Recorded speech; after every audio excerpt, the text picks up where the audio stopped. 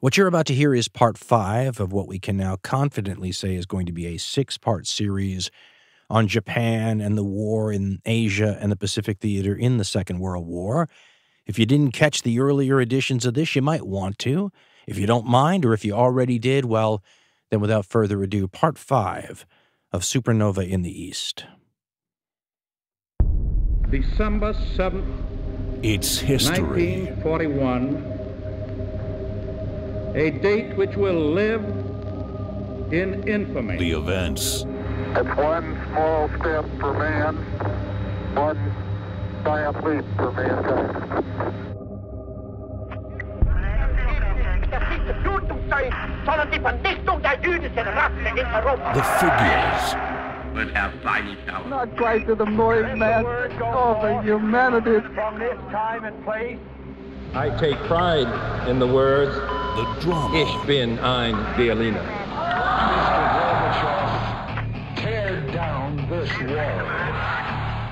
Gate 6 to Manhattan, urgent. Marine 6. The what appears deep to be a questions. complete collapse surrounding the entire area. I welcome this kind of examination because people have got to know whether or not their president's a crook. Well, I'm not a crook. if we dig deep in our history and our doctrine and remember that we are not descended it's from hardcore men. history. The field com.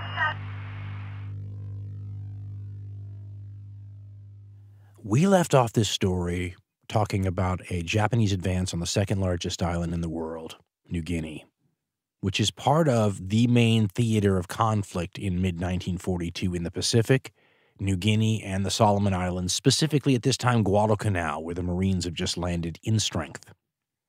And for quite a while in 1942, really the rest of 1942, this will be the, the focus in this part of the world. Now, we should not forget certain other things. The Japanese are fighting in China, have been since before this war started, will be fighting there till the end. That's never going away, and the Chinese get little credit uh, in most countries for tying down the, the great bulk of Japanese forces and resources. The Japanese are also fighting in Burma, what's now Myanmar, against Indian forces, British forces, some Burmese forces, um, and other friends, Chinese forces too, by the way, in Burma and they're fighting Australians and Americans in the uh, New Guinea Solomon Islands area. When last we spoke, the Japanese had just started uh, their advance over the mountains overland from their bases in northern New Guinea to try to take this important city on the south side of New Guinea, known as Port Moresby. I said it was Port Mosby, which is silly because it's spelled exactly as it sounds. And as this advance begins, the Japanese begin doing what they've done all along, which is sort of baffling to most observers. They're committing atrocities, horrible atrocities. They love beheading for some reason. And they've done, you know, they're killing prisoners in, in Rabaul before this, uh, the beheading, the civilian killings. And it's one of those things that sort of boggles the modern mind because you can't help but ask the, the salient question why? Why is this happening? How does this benefit anybody, right? Isn't this counterproductive? Well, if you look at the entire war, this was a fascination on the parts of the world when the war was over. Not just the war crimes trials, but studies, experiments, surveys, all sorts of psychological evaluations and post war examinations of you know, human conduct and behavior and orders and obedience to other people's orders were something that was highly focused upon because it is somewhat stunning. It seems a little bit easy to just say, well, you know, human beings can be terrible to each other. And it doesn't apply in some situations. I mean, for example, in Europe, the situation's much easier to boil down to leadership. I mean, the Nazi regime in Germany ordered these things. Don't have to get too complicated. You go look at things like the Obersalzberg speeches and what Hitler was saying we're going to have to do to the to the Poles, um, the orders before the attack of the Soviet Union about having to sort of throw civilized uh, uh, norms aside. Comments like, you know, Genghis Khan is remembered as a statesman today, so it really doesn't matter. I mean, the end result is how you'll be judged, not how you got there. And in the documents, and when you read this stuff, and this doesn't apply, by the way, to how they treated the Jews in, in the Holocaust, because that had nothing to do with practicality, unless you want to say that, you know, as revenge, Hitler said, well, if the Jews unleash another war on Europe, they'll be sorry, and boom, maybe that's what he's doing there.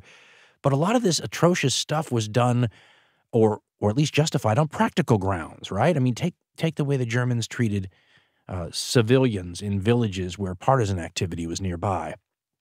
If somebody took a shot at German soldiers, they'd line up civilians in the village and kill them. And of course, the goal wasn't to just be cruel, it was to try to deter them through terror, something uh, that is generally frowned upon today. It's called collective punishment. And it's funny because everybody believes in collective punishment to one degree or another. I mean, you ever been in a classroom where the teacher's got a couple kids talking, you know, amongst the 30 students and says if the talking doesn't stop, all 30 students have to stay after school? Or how about the football coach who says if uh, you know anybody starts uh, you know fooling around, everybody's going to have to run laps. I mean, that's a way to sort of get the group to enforce behavior, right? The idea is if uh, the Germans line up a bunch of civilians in a village and kill them for every partisan activity, the other villagers will go, Stop this. We're the ones paying the price for this. So the idea may be completely flawed. In fact, evidence seems to show that in the Second World War, uh, German atrocious attitudes toward the civilian population to stop partisan activity actually leads to more partisan activity. It's long been understood that the Germans were welcomed in some places as virtual liberators when they took over uh, areas that had been occupied by the Red Army, and they turned those people against them by their cruelty. This is not a Second World War thing, of course, though. I mean, in the First World War, go look at the rape of Belgium. It's based on a similar sort of thing killing civilians in villages in an effort to deter partisans. What's going on in Asia is a different story and much harder to pin down. I mean, as far as I can tell, and I could be wrong about this, I can see like three levels of responsibility here. Uh, what's going on with Japanese soldiers and this cruelty could be happening at the soldier level, which is an excuse that the Japanese sometimes use. I mean, in, in the Nanking situation in China, it was sort of a, well, you know, boys will be boys kind of excuse. Yes, the soldiers did things that were out of control, but you know, can you blame them? It was a very hard fight to take the city. They'd lost a lot of buddies. Um, you know, sometimes people lose their minds a little bit you know, maybe a lack of institutional control, but but this was not a, a des- deliberate effort to wipe people out. That would be the excuse. And listen, soldiers have been misbehaving since caveman times, so there's some validity to that, maybe. Course, there's no excuse for the loss of institutional control, but we'll we'll play with that as, as one of the possible levels that atrocities happen at, the actual ground level where the soldiers are, right? Then there's a high level responsibility possibility, which is what's going on in Europe, right? You could say, listen, the emperor and the major leaders decided they wanted to have a you know iron fist, and this would be very in, in keeping with sort of fascist uh, intellectual doctrine, right? An iron fist sort of strength, and we will crush dissent, and we will teach these people, you know, that sort of thing, and that that can be true too. But where we left the story was in discussing an affidavit from an Australian officer that was introduced in the post war war crimes trials in the Asia Pacific theater. It was recounted in Lord Russell of Liverpool's book, The Knights of Bushido, where in New Guinea, Australian troops were being atrociously killed. I think we used uh, as an example a Samuel Eliot Morison, I think it was, incident where he said some Australians had been tied to a tree, tortured and killed, and some Japanese soldier who spoke English had put a placard above the head of one of them that said he took a long time to die. Well, how do you think that's going to make the Australian soldiers react when they capture a Japanese soldier? Well, according to this affidavit, that's exactly what the Australian officer had done. A Japanese soldier had fallen into their hands, which is unusual, and the guy spoke English, which is a double rarity.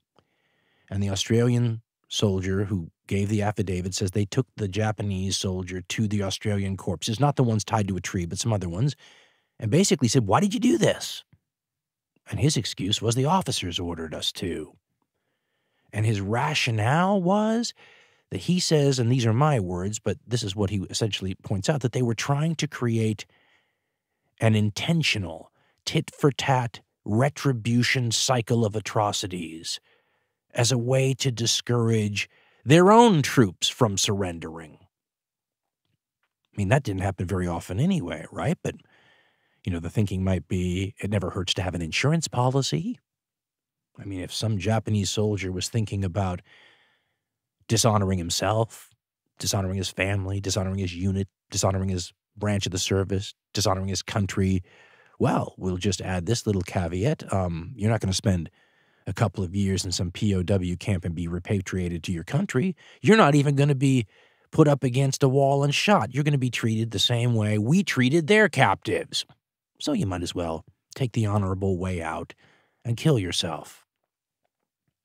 We should also point out that the Japanese cultural viewpoints on suicide are complex and nuanced. They'd always had more of a of a embracing of that than many other cultures, but an attempt to sort of meld fascism with traditional Japanese cultural beliefs made it even more of an imperative. And the emperor's orders to his troops basically said, You're not to fall into the enemy's hands. And maybe making sure that the conditions were such, and I think we called it diabolical uh, on the part of the officers, if this were true, making sure that the conditions were such that the Japanese soldiers would face torture and atrocities and then be killed at the hands of the enemy made it a lot easier to just say it'd be better to slit my stomach, shoot myself, or hold a grenade up to the side of my head and take the honorable way out. So, in trying to figure out why the Japanese would be committing all these atrocities, uh, it's still an open question. Seems counterproductive, doesn't it? There's one other aspect that might be worth introducing into here, though, and part of the fascination. In the fighting in New Guinea, there will be a Japanese soldier named Ogawa Masatsugu, and he will write a book after the war called Human Beings and Extremis The Island of Death, New Guinea. I tried to get that book in English, it doesn't exist. Excerpts from that book um, we've already talked about in the show. Uh, it's called Japan at War An Oral History by Haruko Taya Cook and Theodore F. Cook. And in it, Masatsugu talks about Japanese training methods, and I wonder how much these training methods contributed to how Japanese troops behaved. We'd said earlier, um, and using a line that was originally used for Jewish folks, I think, but it works wonderfully for all sorts of very distinct peoples on the planet. Uh, so, using the line and converting it to the Japanese, we said that the Japanese are like everyone else, only more so. Well, every major military in the world has a process for turning their civilians into soldiers, basic training, right? And um, the Japanese versions of basic training, in many respects, paralleled those of other nations. Except what Masatsugu says is when you actually got on the ground, in the field, in country, as they would have said in Vietnam, some of these officers and units took it upon themselves to go farther than most other armies went. He talks about what would re- be referred to in other places and times as blooding the troops. Masatsugu says uh, that when he got to China, you know, in country in that war, well, here's what he writes about what the officers made them do as part of sort of finishing their training. And again, try to imagine any other Allied army doing this. And there are photographs, by the way, in case you have doubts. And try to imagine how that might have some impact on how things actually turned out in the field. He writes, quote, I never really killed anyone directly. I shot my rifle, so I might have hit somebody, but I never ran anyone through with my bayonet. In China, soldiers were forced to practice on prisoners, slashing and stabbing as soon as they arrived for training. Stab him, they'd order, indicating an unresisting prisoner. I didn't move. I just stood there. The platoon leader became enraged, but I just looked away, ignoring the order. I was beaten. I was the only one who didn't do it. The platoon leader showed them how, with vigor. This is how you stab a person, he said. He hit the man's skull and knocked him into a pit. Now, stab him. They all rushed over and did it. I'm not saying I determined it good or bad through reason. I just couldn't take the thought of how it would feel running a man through with my bayonet. Considering the rarity of cameras in these scenes, it's interesting that there are a decent number of photographs of this actually occurring. Time Life um, actually published some during the war, and they are astounding to look at. No other military did this, no other major military did this. Does that create a different kind of soldier when this is how you train them. Even Japanese recruits showing up in veteran units would talk about, and I'm using the, the exact word here, how mean the veterans looked when they showed up. I mean, these are people who've been through a lot. I should also point out that James Jones, arriving on Guadalcanal, talked about seeing the Marines who'd been fighting there for months, and he used the exact same word, mean.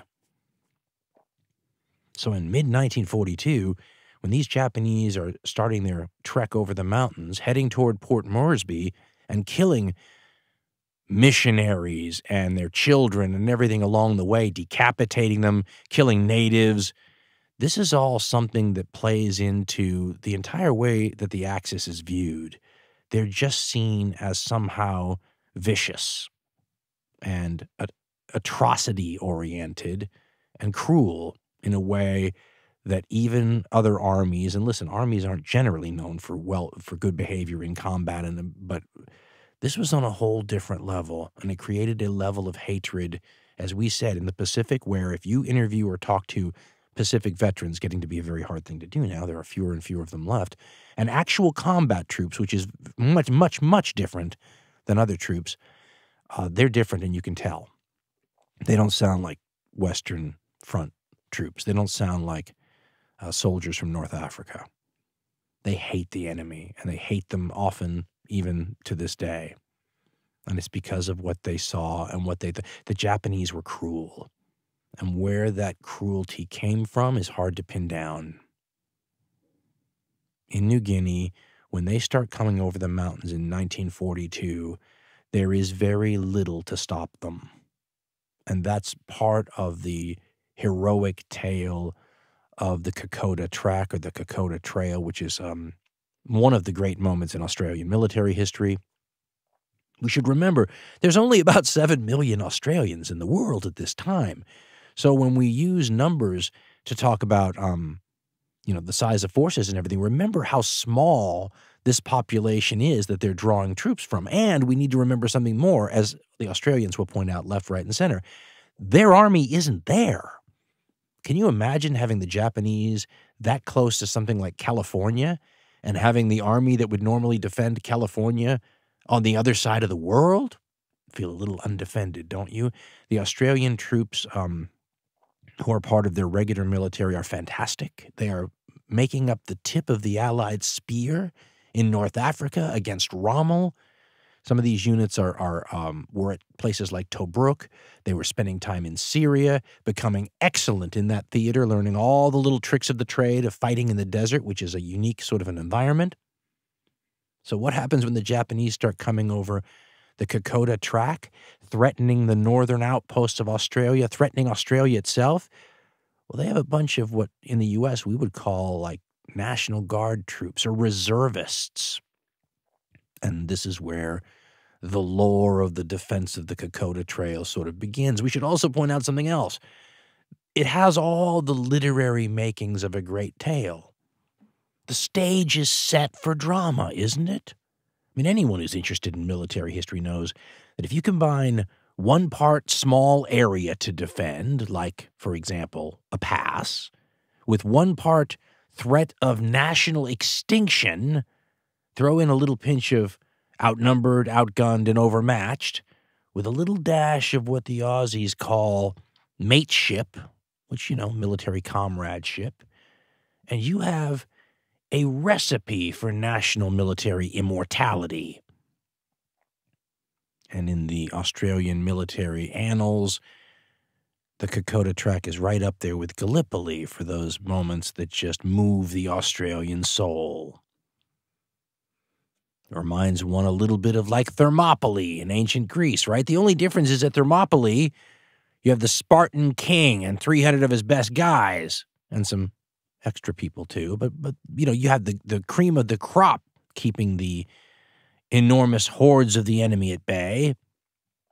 In New Guinea, it's people the regular military refer to contemptuously, usually with the term chockos, which is short for chocolate soldiers. That's what the Belgians were called in the First World War, often by the Germans. They figured they would just melt when exposed to heat. The Australian regulars generally look down upon these people who are going to uh, be the first line of defense in New Guinea because, after all, if they were any good, wouldn't they be with the tip of the spear in North Africa or Syria or even places like Singapore that just fell or Burma? These guys are what's left, and they have to hold down the fort against Japanese veterans who have steamrolled everything in their path up to this point. Good luck with that. Right? Beating the uh, British at Singapore, beating the Americans in the Philippines. Who's going to stop them in late July 1942? These reservists, these National Guardsmen, these Chocko soldiers? I mean, at least in another incident that's similar to this, you get a Thermopylae in, in ancient Greece. At least the Spartans had a king there with 300 of their best guys. Part of the lore in this case that makes it so um, immortal is that it's not Australia's best guys, and they've they're the ones sort of by fate tasked with this endeavor. Now, what makes it so terrible, though, is where this endeavor has to take place. Because to those of us not in combat, it just seems like it would be awful to be facing uh, bullets and shells and aircraft and all that stuff. But everyone in the war on the front lines, anyways, facing that. What makes one experience of a combat soldier different than another are the other variables, like how terrible a place you happen to be in while you're facing the bullets and shells and aircraft. New Guinea is on par with fighting in the Arctic or the Sahara Desert or the Amazon rainforest. And that makes all the difference in the world. I mean, there was a phrase that I ran across in the materials uh, that purports to be a saying that Japanese soldiers had. And it's basically a comparison of the various places a Japanese soldier might find themselves fighting in or stationed in, you know, based on their good or bad fortune. And the saying is that heaven is Java, hell is Burma, but no one returns alive from New Guinea. That's why the title of Ogawa Matsutsugu's book was Human Beings in Extremis, the Island of Death, New Guinea. And Matsutsugu says that people would come simply to look at him after the war because they couldn't believe somebody got out. That's how few people did. Remember, the Japanese are going to have a name for all these people that get lost in the war and then come back years later, right, to, to view their own gravestones, to go back to their families only to find out that their wives have remarried and their children have grown up with other fathers. They called them the living war dead which is a fabulously interesting phrase. How many people do you have to have falling into that category to have to come up with a special phrase for it? And they had this all over the war, we should say. I mean, there were Germans returning from Soviet POW camps years later. The difference is that people didn't get lost in any other theater anywhere near as often as they got lost in the Asia Pacific theater. And a lot of people got lost in New Guinea because when you look at the terrain, and the circumstances of the people who had to fight there, it is wild. Mountains that are on par with the Alps, uh, jungle that is as heavy as you will find anywhere, rainfall that sometimes tops the more than 300 inch mark. Uh, it is never dry in New Guinea except on a few particularly dry spots. I think it's Matsutsugu who wondered uh, if you could drown marching in rain that was that heavy. Uh, famed military writer James Dunnigan said about the New Guinea fighting that it combined the worst aspects of jungle and mountain combat. And that's what makes the situation so memorable for the people who fought there. Yes, they remember the fighting, as combat troops on every front remembered, but they added to that the equivalent, as one author said, of fighting in an obstacle course. I mean, the number of veterans that talk about uh, these things like the phenomenon of the false crest, for example, is a little bit shocking and pretty universal. The false crest phenomenon relates to the fact that the soldiers who fought in New Guinea and um, Osmar White, who was a war correspondent there, said something to the effect that you know geography is impartial, so it affects both sides equally. Uh, the the climbing that these people had to do straight up and straight down, mountain after mountain after mountain, broke the spirits of so many of them. And there's stories of, of soldiers on both sides uh, breaking down in tears and embracing each other when they finally get to the top of some of these mountains. And then to look over the horizon, which had been invisible to them before they got to the top, and seeing more mountains just the same as far as the eye could see. In his book Kokoda, which is a pretty pretty classic book, uh, author Peter FitzSimons tries to give a sense of what the terrain is like. And by the way, when he refers to what he calls the diggers of the 39th, he's talking about the 39th Infantry Battalion and uh, the diggers. That's a term for Australian uh, soldiers. And he writes, quote, the diggers of the 39th, struggling up and over these God-forsaken mountains, tried in vain to come to terms with their new surroundings. This was like no place they'd ever been before or even heard of. For many of them, particularly those from the often long, low, featureless plains of western Victoria, it was beyond their imagination. The mountains and ranges continued to the far horizons, to all points of the compass, valleys, crevices, and creases sprayed out seemingly at random, many of them filled with thick mist, and most of them, the men knew, entirely uncharted by Europeans. Through it all, somehow, the track, he means the Kokoda Trail, the bloody track, poked and prodded its way roughly northward, sometimes gripping grimly to the side of a mountain above a raging torrent, sometimes going from rock to rock in that torrent for as long as a mile, sometimes glugging along beneath four feet of marsh and often going up a slope which was just a few degrees off vertical to an absolute height at the top of the ranges of over 7,000 feet.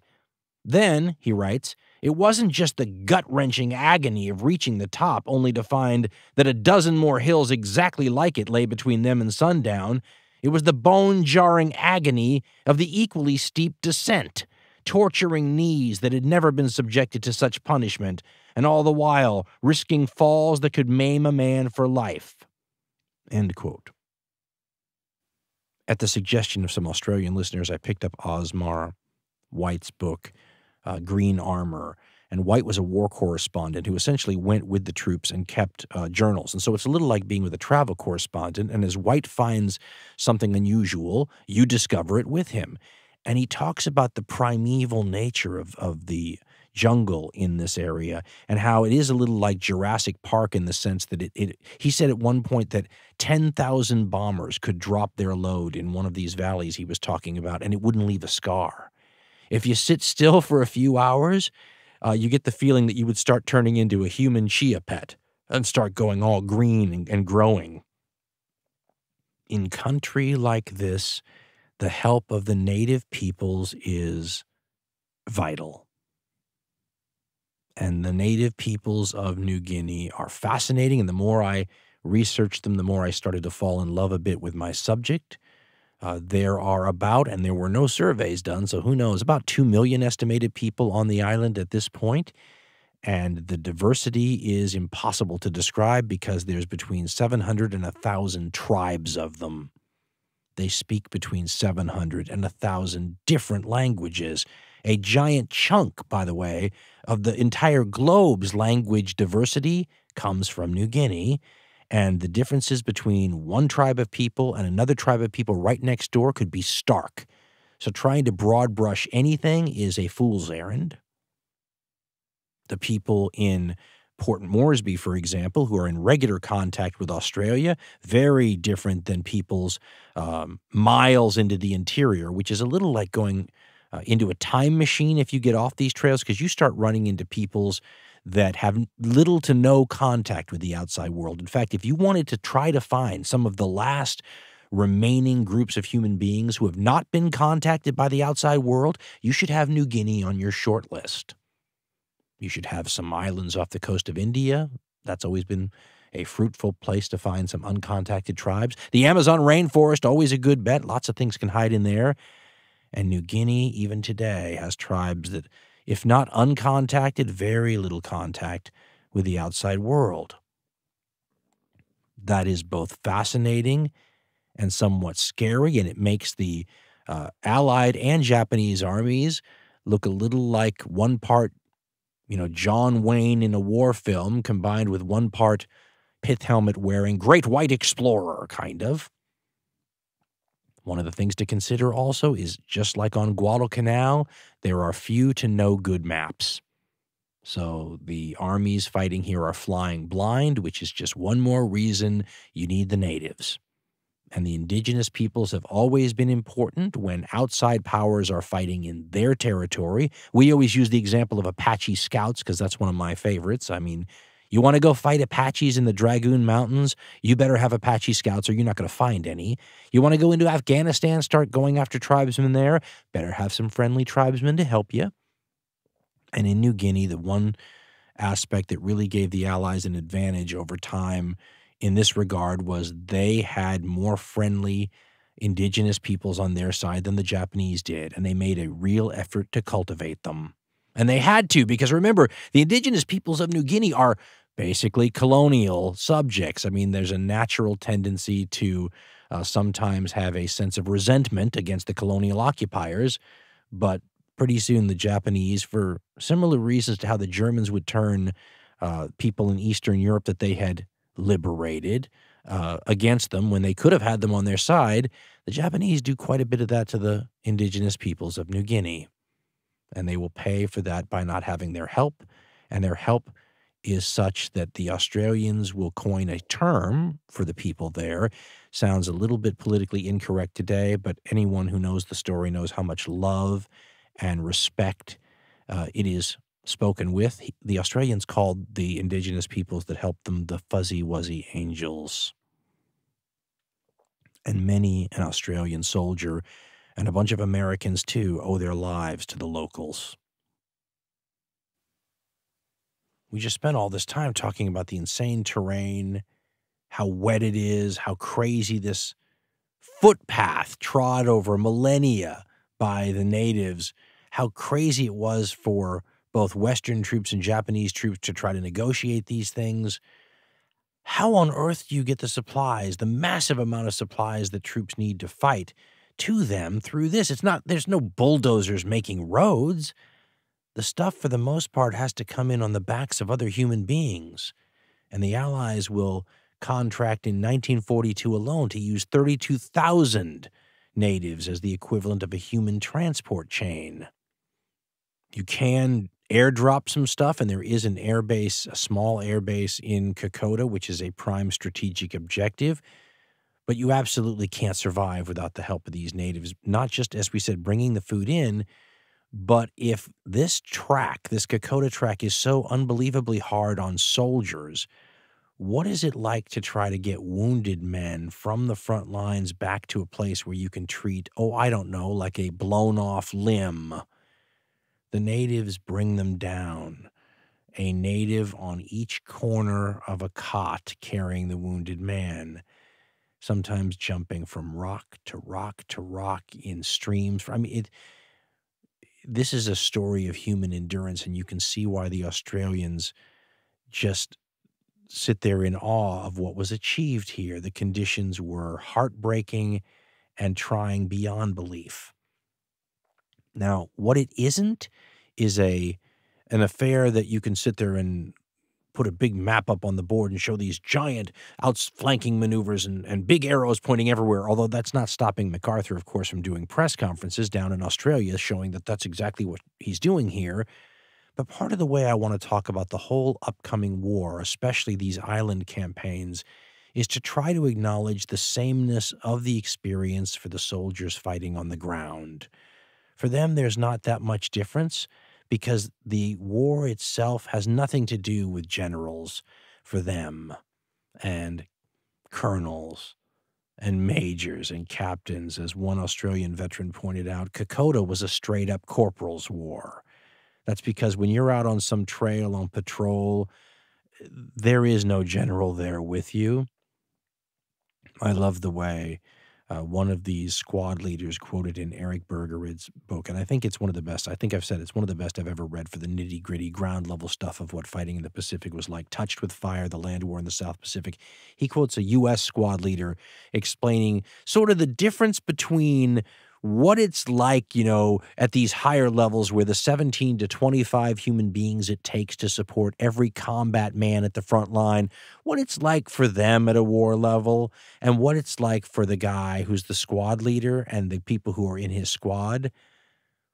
Bergerud quotes this American squad leader, but this is exactly how it was for the Australians too, as saying, quote, the squad leader, a corporal or sergeant, is the man who sees that the assault orders are executed. Reams and reams of paper are used to write orders from the highest authority down, telling everyone what to do and how to do it. They have predictable phrases take and occupy, assault and capture, operations orders, annexes to the operations orders, etc. The squad leader never sees the reams of paper consisting of brilliant orders written by officers who've attended every war college in the world. The annexes to the orders cover everything from battery voltage in handheld radios to the rolls of toilet paper that will be available. These orders and annexes are sent to the war colleges, the archives, and the big file in the sky, but the snuffy squad leader doesn't care a tinker's damn about them. When push comes to pull, he says, the lieutenant or platoon leader tells his squad leaders, When I give you the word, first squad, move out in that direction. Second squad, keep contact with first squad's right flank and move out. Third squad will be in reserve for now. Got any questions? Everyone is thinking to themselves, he says, Yeah, can I go home now? So the lieutenant says, Move out. The squad leader tells his 12 or so men, so and so, meaning, you know, Joe, move out. Number two is, you know, John, and so on. An enemy machine gunner is pounding like hell at you. One of your snuffies says, Jesus Christ, Sarge, you're going to kill every one of us. You yell back, That's right. Move out and get killed, or I'll have to kill you. And so it goes. All of those a-holes, he says, or most of them, who wrote all of those brilliant operations orders were never squad leaders. End quote.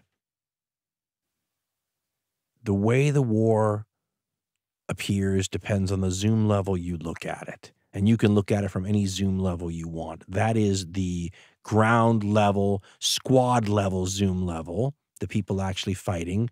But you can zoom in and out to any degree you want. I mean, I can pick up a book I hardly ever have out of my arm's reach, the Encyclopedia of Military History with Trevor Dupuy writing it, and he'll give you the satellite level zoom out and just explain the campaign sort of in a very quick and general fashion, but you don't get any sense of what it was like for the people on the ground. But maybe an overview is worth it here in Australia to show what happens. As we said, the Australians are fighting with the Chockos, these people who are like reservists who have to kind of hold back the Japanese long enough for Australian troops who are being, some of them anyway, withdrawn from the Mediterranean, brought back to Australia for a quick refit, and then going to be sent to help. And um, here's the way Dupuy puts the, uh, you know, this this initial part of the Kokoda campaign. It doesn't sound very dramatic the way he says it, though, but it is an encyclopedia after all. Quote July 21st to September 13th, 1942. Advance on Port Moresby. Elements of the Japanese 18th Army under Major General Tomitaro Horii pressed inland from Gona, drove in local Allied troops, and moved up the rugged Kokoda Trail to seize the key pass over the Owen Stanley Mountains, which happens on August 12th. Pushing ahead, he writes, the Japanese reached to within 30 miles of Port Moresby before stiffening Australian and American resistance under Australian Major General Edmund F. Herring, supported by tactical air forces with local air superiority, halted the advance. That doesn't really give you a sense of the drama and the oppressive jungle fighting involved.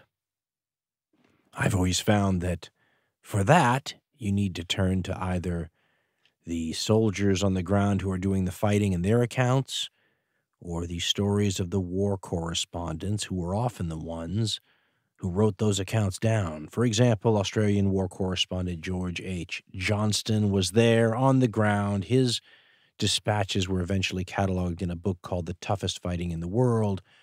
And he, at the time, you know, writing in contemporary terms as he's finding stuff out with the troops, starts seeing the survivors of some of these conflicts up on the Kokoda track in the Owen Stanley Mountains come shuffling down from the jungle. And he says, quote, Our wounded are beginning to come back from the Owen Stanleys. Thin, bearded, gaunt men with hollow cheeks and the marks of strain and pain around their eyes. Their uniforms are ripped and covered with dried mud. Their slouch hats are pulpy and shapeless. Stretcher cases are jolting back on crude log litters on the shoulders of brawny Papuan natives. The others have walked all the way along the terrible track that links Moresby with Kokoda. They don't try to conceal what they've been through. It's only by realizing the difficulties our troops are facing that we shall be able to overcome them. Now, quoting one of the troops, quote, Up there, we've been fighting on the worst battleground in the world, one man said. Before I was hit, I spent 46 hours without shutting an eye. There are mists creeping over the trees all day, and sometimes you can't see your hand in front of your face under the cover of the jungle. Most of our chaps haven't seen a Jap. You don't even see the Jap who gets you. It's like fighting the invisible man. Those Japs are tough, hard fighters, and their camouflage is perfect.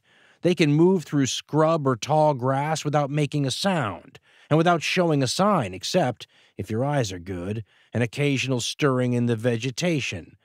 My unit made two attacks on Japanese positions. We got to within 15 feet of them, but we still couldn't see them. When they were attacking, we could hear a voice shouting from some distance back. We soon learned that trick. The voice always comes from a long way back, but the real danger is the Jap force right up close to you. The Japs have amazing patience. They will lie on the ground or stand in a creek up to their necks in water all day without moving, just waiting to catch you off guard. They use the old trick of calling out false orders, and sometimes they begin jabbering at you from only a few yards away. If you stood up to cover them with your rifle, a sniper would take a crack at you from a different direction. At the moment, they're all over us, but they've got five times the number of men we have. The false orders thing is wild. A lot of these Japanese troops have a person or two in the units who spoke English, and they would yell out orders to see if they could get some of the enemy, usually absolutely exhausted and tired and on the edge of their, you know, nerves, to see if they could get him to stand up or start moving and then open fire on him. It's vicious. It's that kind of fighting. The Australians run into the same trick with Japanese wounded that other Allied troops have run into. A story uh, I recall has a Japanese uh, wounded soldier calling out for help. An Australian officer goes over to try to help him, and the Japanese soldier throws a grenade at him from close range. Once again, that poisons the well for any other Japanese who might legitimately want to surrender and get medical treatment or anything like that. And the Australians start doing what the British and the Americans have already begun doing in their theaters, not taking any chances. I remember one soldier saying, We just never stopped watching Japanese dead. And they would run them through with bayonets and shoot at the corpses. They just, it was a little like having vampires rise from the, the grave. They just never knew when it was safe to consider, you know, a corpse a corpse. For those who are uh, scholars of the uh, Kokoda campaign, they know how many revisionist books over the years have been written about uh, so many of the aspects of the fighting. I mean, were they really outnumbered as bad as the old stories say, and all that kind of stuff? And I just want to say that as an American, I find that somewhat distracting from the real uh, situation here that makes it heroic. It's not being so outnumbered, it's literally what they went through. I mean, when you read these accounts, what these soldiers are dealing with, it's upsetting and horrifying in a way that you know you just didn't run into as i've said many times now already in other theaters and i should also to be fair as osmar white said right geography is impartial this is happening to the japanese too they're going to get a lot more of it when the situation turns the other way. Um, there's a lot going on in this theater, as we said. On August 7th is when the Marine landing, about 850 miles to the east of here, happens, right? In this one theater on Guadalcanal. We've already talked a little bit about that. And then the Japanese will try to land at Milne Bay, at another part of this same area of New Guinea, uh, to capture an airfield, and the Australians will throw them back becoming the uh, this is famous, although I, have heard it um, other people say it's not true, but I think it is, uh, becoming the first of the Allied uh, troops to sort of deny the Japanese something that they're trying to take in this war. The scale of the fighting reminds one of a very large Vietnam War campaign. So the Kokoda fighting will have like 6,000, 7,000 Japanese troops against two or 3,000 Australians for a certain point. It seems like small potatoes compared to other fronts, but you can't have large potatoes on this front because you can't feed anybody, right? You, you want to put four or five divisions on New Guinea. Well, you don't have the transport to do it, and they die after you dropped them off there, right? So, this is how you're going to take this area with about that many troops, and the Japanese are slowly but surely going to start to get pushed back over the mountains in the other direction, back down toward their bases on the north of the island.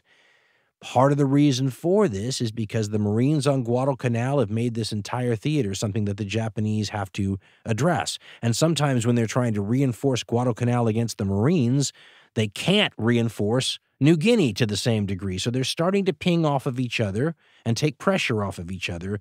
Also, the Milne Bay battle that we just discussed, well, that's where you start to see Americans on the ground fighting next to Australians and with them. This is not widely understood in the United States. Uh, in Milne Bay, it's more engineers and some anti aircraft gunners, but you're going to see more and more of that. Also, and this is a bit of a of a sore point in a lot of um, Australia's soldiers' minds, but uh, there will be criticism from people like General MacArthur in Australia, who will say things like, the Australians aren't fighting well, you know, that they're not good troops and all these kinds of things, completely neglecting that these are militia going into combat for the first time against Japanese veterans who've been there before. Wait till he sees what the Australian tip of the spear guys can do when they get there. And they start arriving little by little. And as this campaign goes on, you start to see um, the really good Australian troops up against the really good Japanese troops. There's a line that I loved. I believe it was quoted in uh, Eric Bergerud's book, where they asked a veteran who was talking about, you know, how they ranked the jungle fighters. And after a while, it was always thought the Japanese were now these super jungle fighters. But after a while, they will say that the Australians are the best jungle fighters in the war, that the Japanese are the second best jungle fighters in the war, and that the Americans really you can't judge because they sort of knock the jungle down first and then fight in what's left. But once the, the tables turn a little bit and aircraft play a big role in this, you'll start to see the Japanese suffer. And they're going to suffer in a way that will be cataloged in Ogawa Masatsugu's book. And he'll call the fighting on uh, Kokoda, he'll say his, his great memories of the entire campaign is one of suicides and mercy killings. So that gives you an idea of the Japanese memory of this place. And as the fighting continues, the Japanese are not just fighting, you know, the the European allied troops. They're fighting the natives uh, in green armor. Osmar White has a little blurb that just reminds you that these natives they remind me a lot of the Polynesians, where a lot of the Polynesians are the most friendliest, most open, most welcoming, most hospitable kinds of people you will ever want to meet. But don't make them mad right? If you make them mad, they can be just well. Here's what Osmar White talks about. He talks about um, one of the natives fighting with the Australian troops, and his name is Lick Lick. And White says, "quote." With him, meaning uh, one of the people in the story, was a small, pot black native about four feet nine inches tall named Lick Lick, a cheerful looking creature with a grin that spread right around his head. Paddles, the other person, said that Lick Lick was being sent back in disgrace and told us about his offense. In a raid on Salamaua on July 1st, Lick Lick begged to be allowed to carry ammunition for his boss. Eventually, permission was given. During the raid, he behaved with great steadiness and courage as number two to a Tommy gun. He killed two Japanese with a bush knife, then he disappeared. Our troops had withdrawn by nine o'clock in the morning. Lick Lick was missing at the rendezvous. Just before the last men moved off, he arrived exhausted, dragging a bulging copra sack. It contained 13 Japanese heads. He then had the effrontery to ask for leave so that he could take them back to his village in the hills and hang them on the pole of the, he described it as a men's clubhouse. When, in the course of his dressing down, it was pointed out to him that very little credit would devolve on him for cutting off the heads of men killed by other warriors, he replied simply, But they were not dead, boss. They were only wounded. So Lick had gone out there, killed the wounded, and cut off their heads.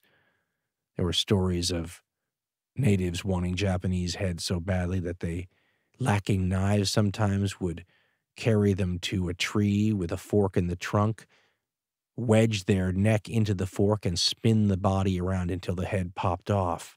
Whole Japanese patrols will go missing soon, only to be found later as rotting skeletons with the jungle veg- vegetation growing all through them.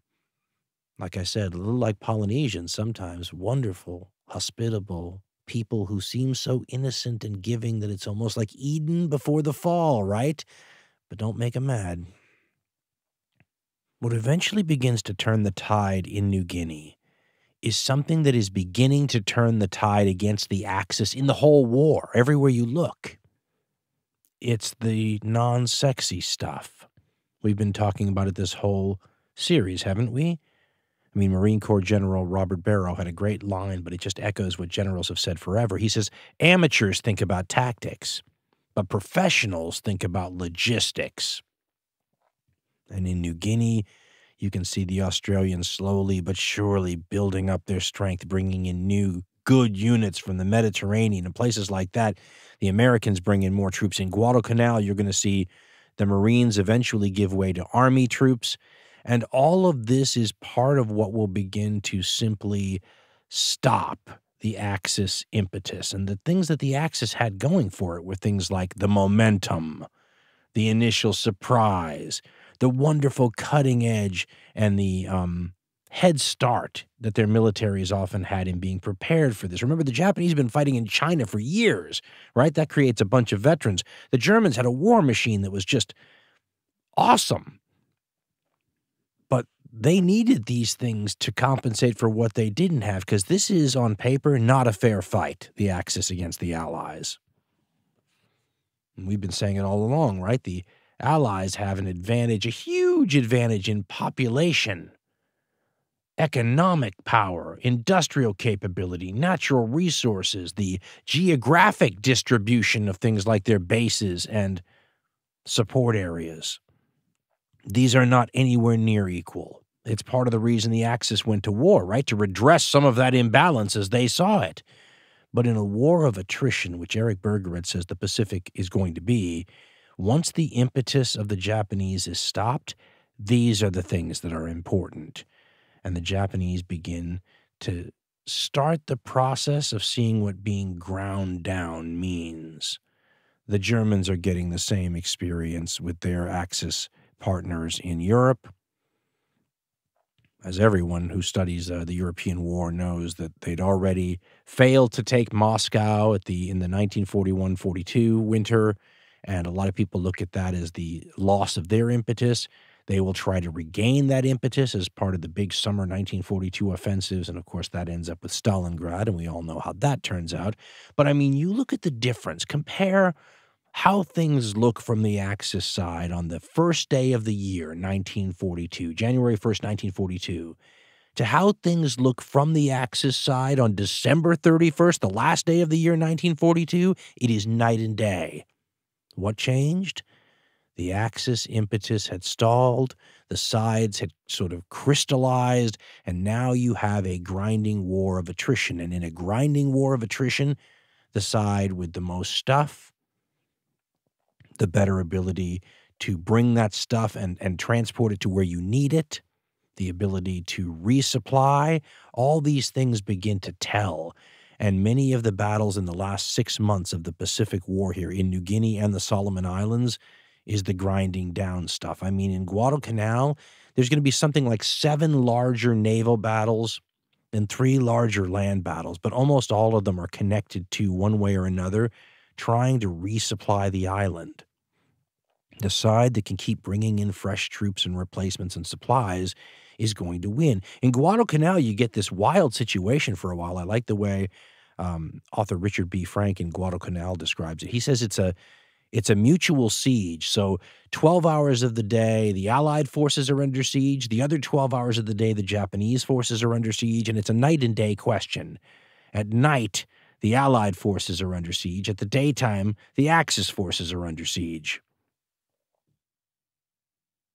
Frank writes this, and when he says cactus flyers, by the way, on Guadalcanal, he's talking about the uh, pilots who are flying off of Henderson Field, this air base that is the sort of at the center of the marine perimeter on Guadalcanal that they're defending.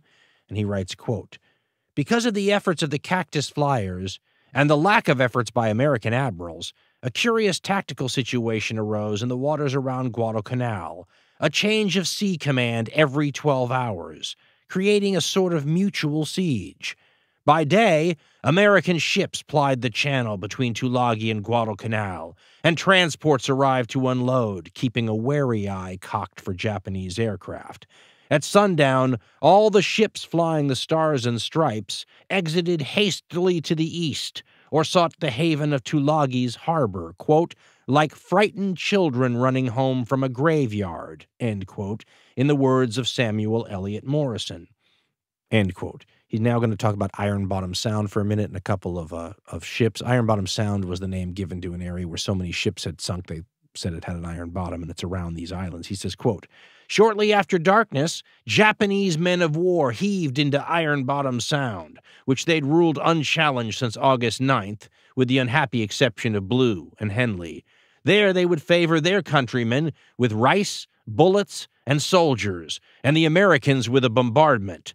These operations achieved the regularity of a crack railroad run, and disgusted Marines labeled them the Cactus Express, soon better known as the Tokyo Express. End quote. In other words, both sides are trying to keep their troops resupplied and reinforced. And the side that stops being able to do this is going to be the side that loses. That's what happens in a war of attrition, right? Eventually, one side's worn down to the nub and the other isn't.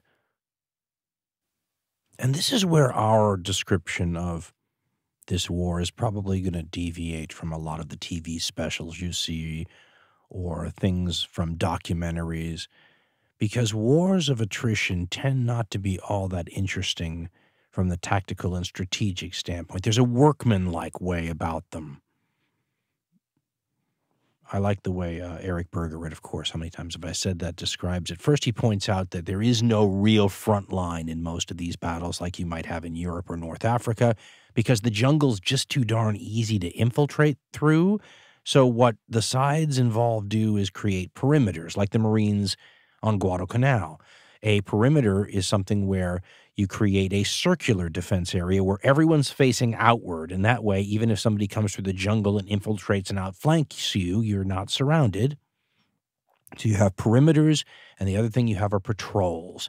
Patrols are the only way intelligence is gathered by the officers on the ground. They send out squads, usually of soldiers, who will go out in different directions and try to see where the enemy is, make contact with them if, if they have an advantage, and that's what this war devolves into, which makes it not so interesting from the General MacArthur level, because, as I said, workmanlike, right? Patrols go out all the time, they run into the enemy, the firefight's quick and deadly and over. And that just continues on and on. Eric Bergerud writes, quote, The small unit war of patrolling and watching the perimeter had a brutal pace. During a campaign, there was no let up in the activity or the violence. The Japanese landed at Buna and started over the Owen Stanley Mountains in July 1942. Rabaul was bypassed in early 1944. In the time between, significant contact existed between Allied and Japanese ground forces every day. Although punctuated with a small number of massed Japanese assaults, the war in the South Pacific was a war of attrition. Day in and out, soldiers were killed, maimed, or stricken with fearful disease. Many characteristics of the war, he continues, such as the immense casualty rates, the poor replacement system, the hideous climate, and malignant terrain, all worked to push the armies towards exhaustion. Yet the soldiers fought the land war in the Pacific with a savage and relentless intensity that had no parallel in World War II. Although it is possible to identify incidents of restraint and humanity on both sides, the essence of the conflict was something very close to a war of annihilation. So, even though we've taken quite a long time to get to this point, we're going to be moving rather quickly for a while because there's a sameness to things. And my apologies to everyone out there whose grandfather or great grandfather fought in one of these campaigns. We're going to hop over like the island hopping the U.S. Navy is going to do. But these island fighting situations are very similar.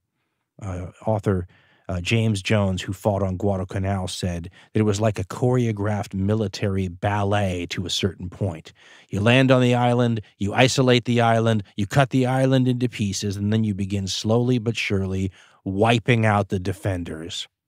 This is part of why, as Eric Bergerud had said, it's a war of annihilation, because unlike many other theaters in the war, the goal is not the same. In those situations, the goal is to break the enemy. There's lots of ways to do it, right? You outflank them, you get in their rear, uh, you hit them at decisive points, you take strategic objectives that um, screw up their defense lines, whatever it might be. But once you get the enemy to flee, run, retreat, route, whatever it might be, that's where the real killing starts.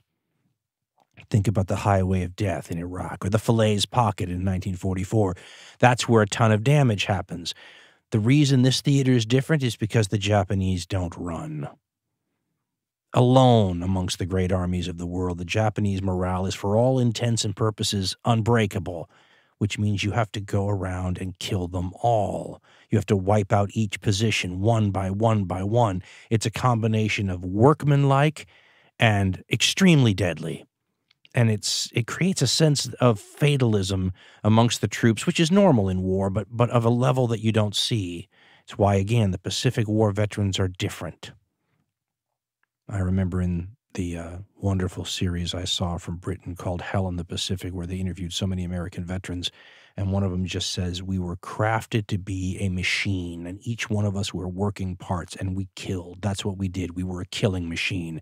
In that same wonderful documentary, my one of my favorite people to ever talk about the Pacific War, uh, Eugene Sledge, who was a um, Marine, he described the front lines this way, and I've never forgotten it. He said, quote, the front line is really where the war is, and anybody a hundred yards behind the front lines doesn't really know what it's like. End quote.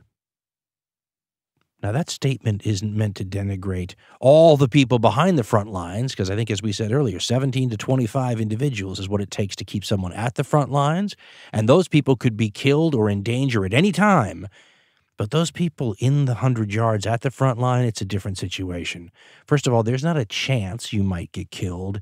Uh, according to James Jones in his book, A Chronicle of Soldiering, and something he calls the evolution of a soldier, he says part of the evolution of a frontline soldier is coming to the conclusion not that you might die, but that you will die. He says you are a different person simply for considering the idea. The other thing you do in the 100 yards at the front line that the people may be in a medical station behind or a support unit or whatever doesn't do is you kill. And you don't kill here and there, you kill all the time. And that will change you too. I find it much more interesting to focus on the soldiers than the the leapfrogging and the maps and the arrows in this case, because all these campaigns share a similarity and they all really revolve around finding the best way to marshal your forces at decisive points in order to get the killing machine, as that American veteran said, into place so that they can begin killing. Uh, the other thing that is important to point out is that the war looks very different when you read the actual accounts of the Pacific War veterans, especially if they're not clouded with all sorts of nostalgia. If you find the stuff that happens at the time written at the time, you find very little patriotism and all the things uh, that glorify, especially the Second World War, which is often referred to as the Good War, you find a sort of uh, deadly earnestness that is um, both sobering and if you're a, a scholar or a student or just really interested in human behavior, it's a wonderful sort of test case for extreme kinds of things that you just don't encounter anywhere else. Jones writes in a Chronicle of Soldiering, quote, Such are we humans, such is our nature, that we can look back on moments where we very nearly died and remember them with nostalgia and pleasure. The truth is, 35 years, which is how long it had been since the war when he wrote this, 35 years has glossed it all over and given World War II a polish and glow that it did not have at the time. The process of history always makes me think of the way Navajos polish their turquoise. They put the raw chunks in a barrel, half filled with birdshot, and then turn the barrel and keep turning it until the rough edges are all taken off and the nuggets come out smooth and shining. Time, I think, does the same thing with history, and especially with wars. End quote. He then goes on to do something um, that you don't normally see done in the history of, of wars, and especially the Second World War. And he explains why.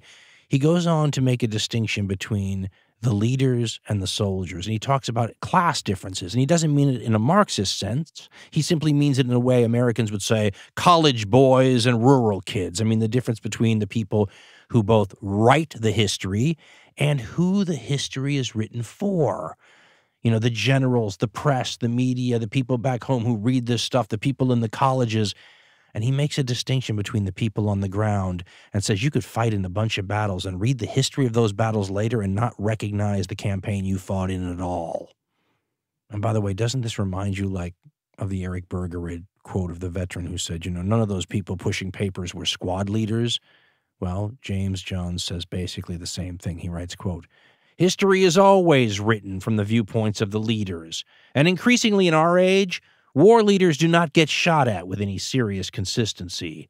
Leaders make momentous, world encompassing historical decisions. It is your average anonymous soldier, or pilot, or naval gunnery rating who has to carry them out on the ground, where there is often a vast difference between the grandiose logic and plans and what takes place on the terrain.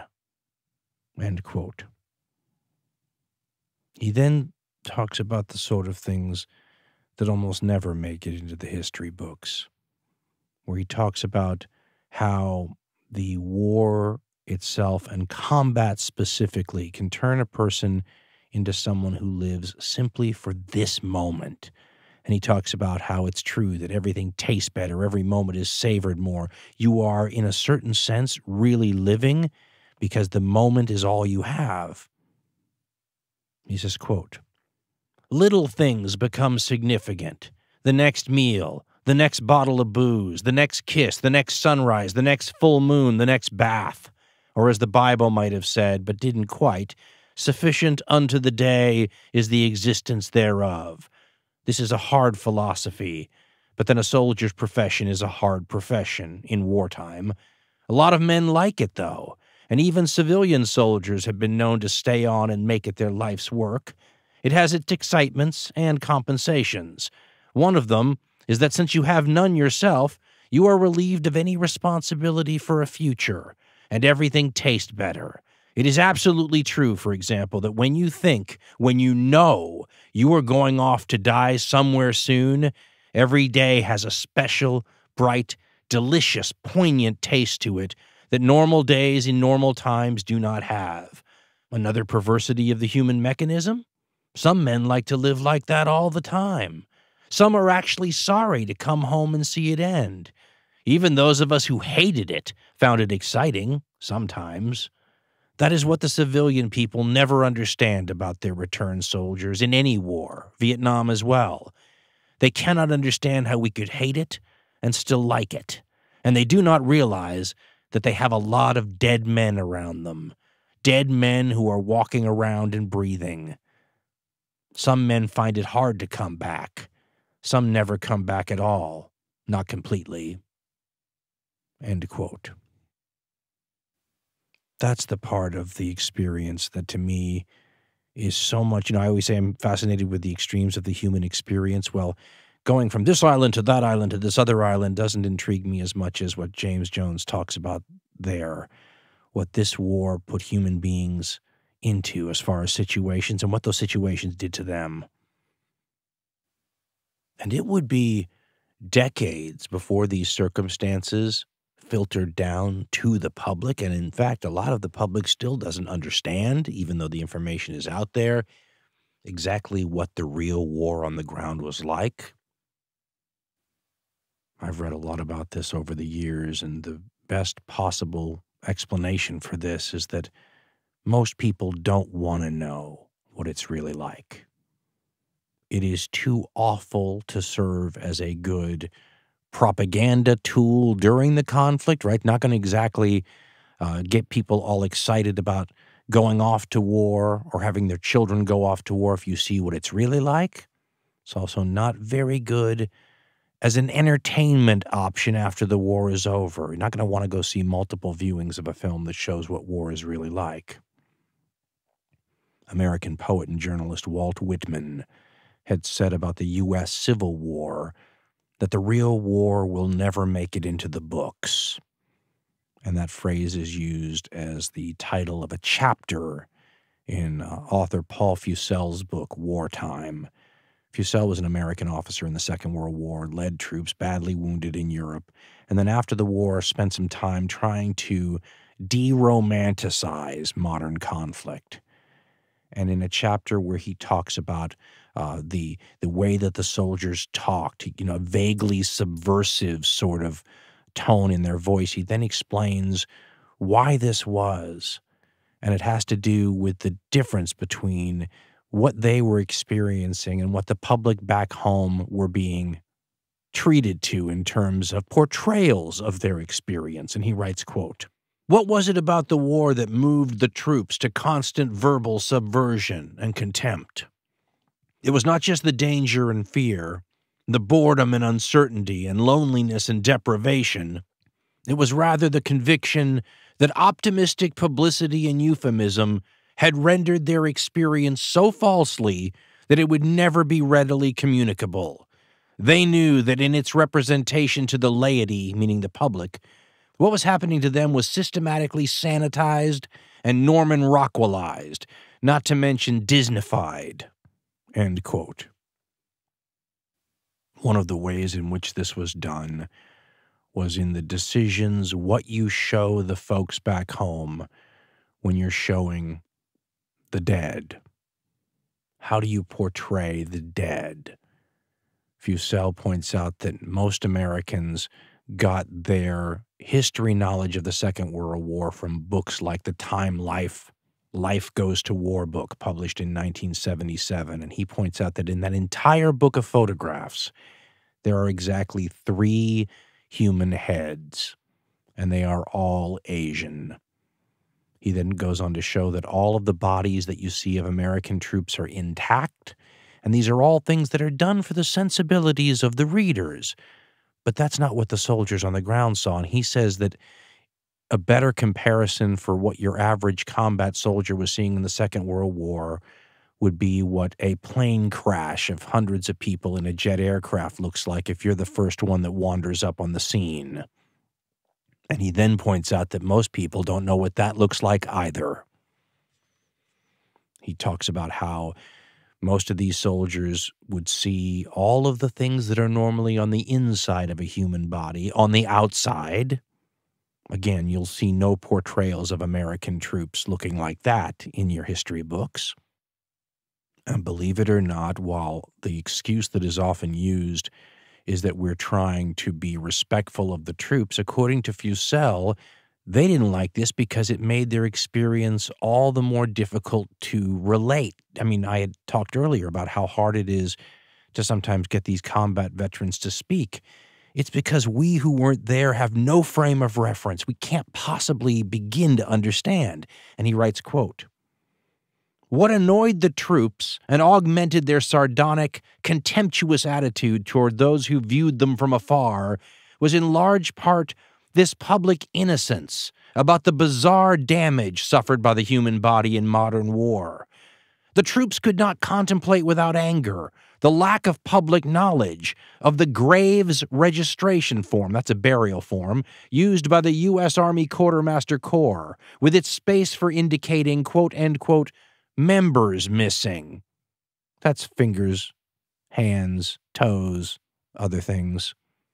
He continues. You would expect frontline soldiers to be struck and hurt by bullets and shell fragments. But such is the popular insulation from the facts that you would not expect them to be hurt, sometimes killed, by being struck by parts of their friends' bodies, violently detached. If you asked a wounded soldier or Marine what hit him, you'd hardly be ready for the answer, my buddy's head, or his sergeant's heel, or his hand, or a Japanese leg, complete with shoe and puttees, or the West Point ring on his captain's severed hand.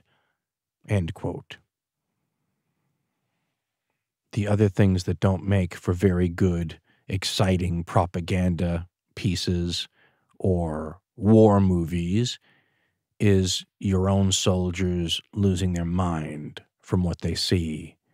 And Fussell quotes a few incidents, talks about Wilfred Owen, who was a famous poet from the First World War, and uh, which they of course called the Great War until there was a Second World War. And Fussell writes, quote, In the Great War, Wilfred Owen was driven very near to madness by having to remain for some time next to the scattered body pieces of one of his friends. He had numerous counterparts in the Second War.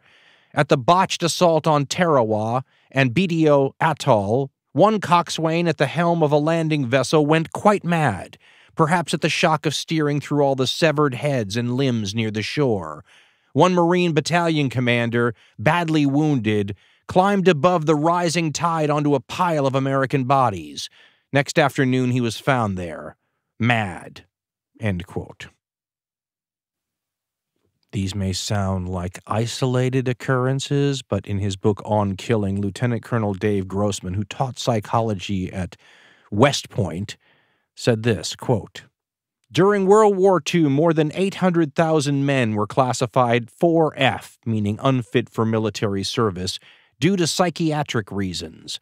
Despite this effort to weed out those mentally and emotionally unfit for combat, America's armed forces lost an additional 504,000 men from the fighting effort because of psychiatric collapse, enough to man 50 divisions. At one point in World War II, he writes, psychiatric casualties were being discharged from the U.S. Army faster than new recruits were being drafted in. End quote. Then there's the sort of incidents I imagine you would least like to find out about if you were one of the parents who received those terrible telegrams from the U.S. government, which usually started off with the phrase, We regret to inform you, and then explaining that your son was never coming home. The last thing you want to find out is that perhaps they were killed by their own people. One of those nasty little realities of war forever, but modern war specifically is how many people die from what is euphemistically called friendly fire. This is an unavoidable thing, especially in modern war.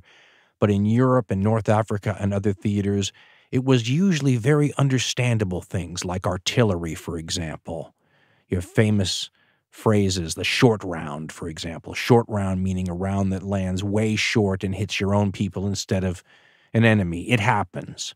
Or aircraft coming in for close air support that hits friendly troops instead of enemy. Again, hard to avoid over the long haul.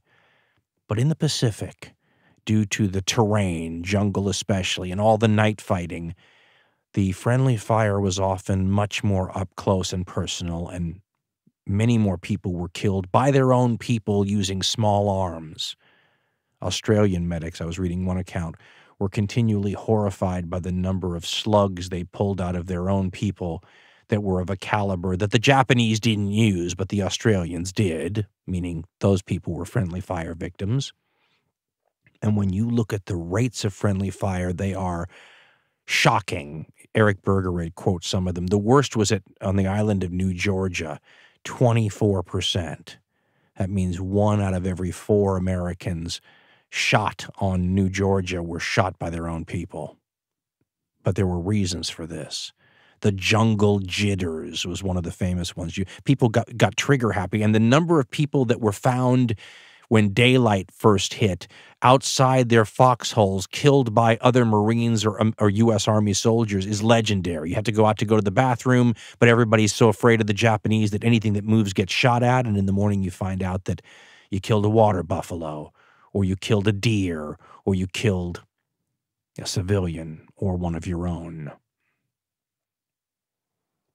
These are the sorts of incidents that are so troubling and upsetting that they don't sell a lot of tickets for movies after the war, and they prompt phrases like, the real war will never make it into the books. When you look at the fighting on Guadalcanal, for example, you can write, as Richard B. Frank did, an entire book about it. And it, it makes it sound like um, a, a, number of major World War II battles were happening there and the whole thing. But when you compare it, for example, to what's going on in Europe, the numbers look minuscule, as we've said. Even when Guadalcanal will have 30,000 Japanese on there, which is a sizable force, we should remember that at the exact same time during the German summer offensive, it's millions of men fighting on the steppes of the Russian area around Stalingrad and that whole area. But that doesn't make it any less important.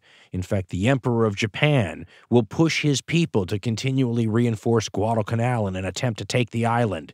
And the problem they have is they deliver them little by little on this Tokyo Express, like we mentioned earlier, and they're trying to build up a sizable force. And when the commander takes a look at what he's got available, the new troops look great. The troops that have been there already are dying, starving, racked with disease. Disease will, will be much more of a problem for both sides than combat will be.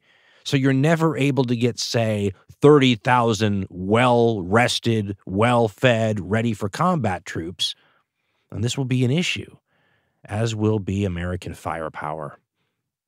The Japanese uh, had hoped to offset firepower disadvantages by attacking at night, as we said, by their what they considered to be superior Yamato and Bushido spirits, and they were going to go in there and they were going to overrun American positions, and it was carnage.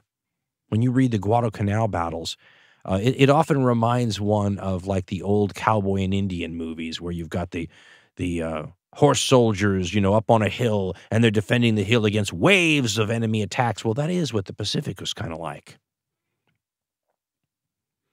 Most of the damage, as we said earlier, is done by patrols, right? Like a Vietnam War situation. And you have, you know, the patrol ambushed on the trail, quick firefights, and people are dead. And that just happens day in and day out all over the place.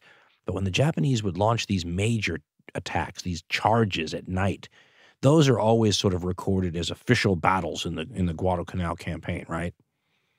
On September 12th, for example, something called the Battle of Bloody Ridge. Well, if you look at the casualties, you know, it's a little more than 100 Americans. It's a little more than 700 Japanese, which is a lot in the Pacific for an, an encounter. But again, in Europe, in Europe, this is a this is small time stuff. But it doesn't matter that it's small time stuff if it's a question of, of taking and holding the island or conquering the island, right? The only thing that matters from the war effort point of view is who has the island at the end of the day. Actually, it's uh, not casualties, it's deaths. So remember, casualties involves wounded people too, missing people too, captured people too.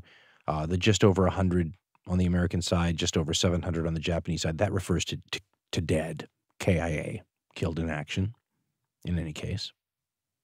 There'll be naval battles that are famous, but they really sort of just add to the attrition. I mean, on August 24th, 1942, there'll be something called the, the Battle of the Eastern Solomons. On September 15th, 1942, a Japanese submarine will sink the carrier Wasp. So, you know, those precious aircraft carriers, which are now the most important ships in the world, the Americans lose another one. On October 11th and 12th, there'll be another battle, naval battle, Battle of Cape Esperance off of Guadalcanal. Again, more attrition.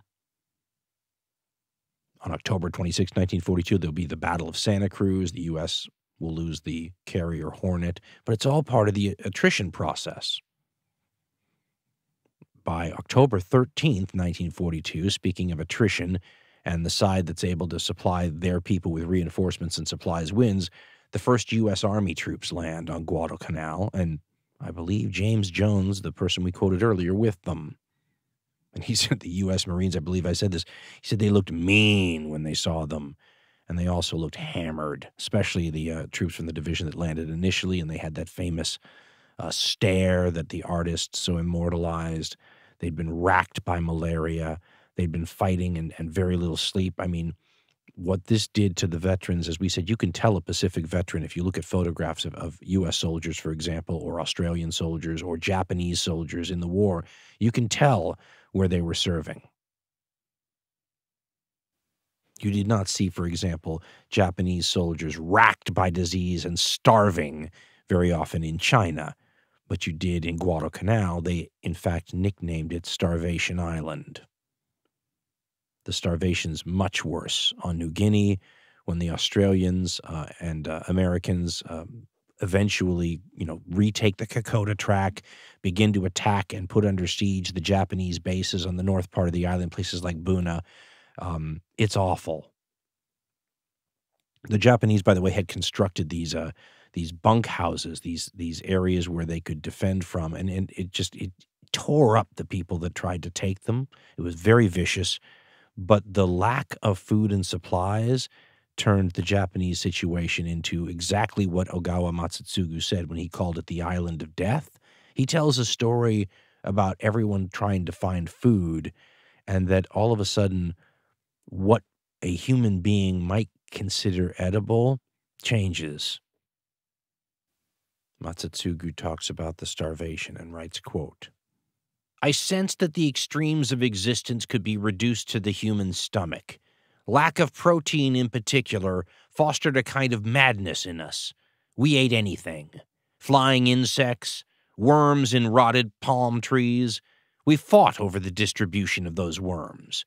If you managed to knock down a lizard with a stick, you'd pop it into your mouth while its tail was still wriggling. Yet under these conditions, a soldier offered me his final rice, and a soldier I met for the first time gave me half a taro root he'd dug up. We had other fears on New Guinea. Near the end, we were told not to go out alone to get water, even in daytime. We could trust the men we knew, but there were rumors that you could never be sure what would happen if another of our own soldiers came upon you. We took precautions against attack.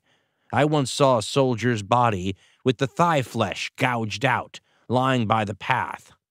The stories I heard made me shiver and left me chilled to the bone. Not all the men in New Guinea were cannibals, but it wasn't just once or twice. I saw this kind of thing. One time when we were rushing along a mountain trail, we were stopped by four or five soldiers from another unit. They told us they had meat from a big snake that they were willing to share with us. Their almost sneering faces unnerved me. Maybe we were thinking too much, but my companion and I didn't stop. Thank you, maybe next time, we said and left. I knew that if it were really a snake, they'd never have shared it. They were trying to pull us in to share their guilt. End quote cannibalism, something that you saw almost never on any of the other fronts. They apparently referred to Australian flesh as white pig and the Papuan, the indigenous people of New Guinea, in, in Papuan flesh as black pig. Can you imagine? And when you read the accounts from Australian troops or American troops, they're all seen through the eyes of an individual, right? A small mosaic. As I said earlier, the combat could be switched to. You could switch the New Guinea combat with the Guadalcanal combat, and if I didn't tell you where it was, the, the difference is negligible in terms of your average soldier eye view. For example, after the last big attack by Japanese troops, and at one point, the Japanese, as I said, will have like 30,000 men on Guadalcanal. The Americans are continually reinforcing the island. They'll be up to like 58,000 at a certain point. This battle for reinforcement and resupply is, as we said, the non sexy side of war, but key to who's going to win these things. And after a big, it's sometimes referred to as the land battle of Guadalcanal in mid October, the Americans start going more on the offensive and trying to drive the Japanese to the edge of the island and then eliminate them. And when you read the accounts of the American veterans, for example, you once again get a real idea of the absolute hatred that had been engendered by the treatment meted out to both sides. There was an Australian soldier who said that he didn't, in North Africa, he didn't feel one way or the other about what he called the Tonys, which are the Italian troops. And he said they sometimes had a sort of grudging admiration for the Fritzes, the Germans, but he hated the Japanese. In the book Into the Rising Sun by Patrick K. O'Donnell, which is um, accounts of American veterans, he talks to Raider Battalion members on Guadalcanal. And uh, one of them is Dean Winters, who was part of the 2nd Raider Battalion. He was on one of these patrols known as the Long Patrol to drive Japanese troops sort of backwards. And he says at one point that they came on a Japanese hospital in the clearings. And the hospital is just a bunch of huts. And he writes, quote, we came upon a Japanese field hospital in bivouac area. We killed a lot of Japs. We bayoneted and shot anything that was still moving. It was a series of grass huts. They were on the ground, wounded. Several had broken legs. It didn't look like they'd had proper medical attention because some of them were bent at a 45 degree angle. They weren't sticking straight out. We were back in Japanese territory and didn't want to make noise so we used bayonets. I was pretty angry. We had a patrol, and they captured one of our men and tied him over a log and used him as a woman. They rammed a bayonet up his butt, and he bled to death. That made me angry. So whenever I'd get into action, I'd get angry. I wasn't afraid when I was angry. We all felt that way after what we'd seen. End quote. It is really tough, though, to get into close combat. One Australian soldier said that he just shriveled up. And this is quoted in um, Francis Pike's book, Hirohito's, where he said he just shriveled up when the Japanese were 10 yards away with edged weapons. What you saw as a soldier in terms of other people being wounded and the terrible wounds, well, my stepfather had a friend who fought on one of these islands, an American, um, and had me go up and see him once, and he wouldn't talk to me. He'd become an alcoholic and stayed in his house all the time. This is 40 years after the war. But he was one of those guys, like Eugene Sledge had said, who was within a hundred yards of the front line all the time. And he was one of those guys that James Jones had pointed out never came back from the war completely. But look at what they saw. In the same book, O'Donnell quotes 2nd Raider Battalion veteran Ray Baumel, who says, quote, I was about to go back and tell them that I couldn't find anything, and behind us our officer, named Miller, and his runner must have walked up along the trail, come around, and crashed through like a herd of elephants. I almost shot him. I said, Holy Christ! He was pissed off. He said, Where the hell is everyone? What is taking so long? I said, they're laying over here about 15 yards, I'm guessing. Then I was going to step in front of them to lead them, but they trained the officers to go first, so I stepped right behind them. I was about a step behind them. We took two steps, and a Jap machine gun went off and almost blew his entire head off. All his teeth were knocked out, and his tongue was like strips of liver. His whole lower jaw was almost missing. I said, Lay low. It's amazing how you react. And I said, Lay low, Lieutenant. End quote. He then later says that the next day the officer who had been shot in the head died, saying he suffocated in his own phlegm, and then pointed out the obvious it wasn't a pretty sight. Those are the kinds of experiences, right? The human experiences that will have some people, understandably almost, drinking the rest of their life away, trying to not recall the terrible images that are stored in their memory banks. As terrible as the hatred may be between the combatants, I can't get out of my head something I read in Francis Pike's Hirohito's War because it reminds me a little of the Christmas truce in 1914 in the First World War, where the two sides jumped out of the trenches and came together and started exchanging uh, materials and gifts with each other uh, to the horror of their commanding officers, by the way, because it sort of showed a humanness that defied the conflict itself. There's much less of that, as you might imagine, in the Pacific, which so many modern histories like to call a race war, a race war of annihilation. But in Hirohito's war, Francis Pike recounts an incident I'd never heard of before uh, based on an entry in a Japanese diary.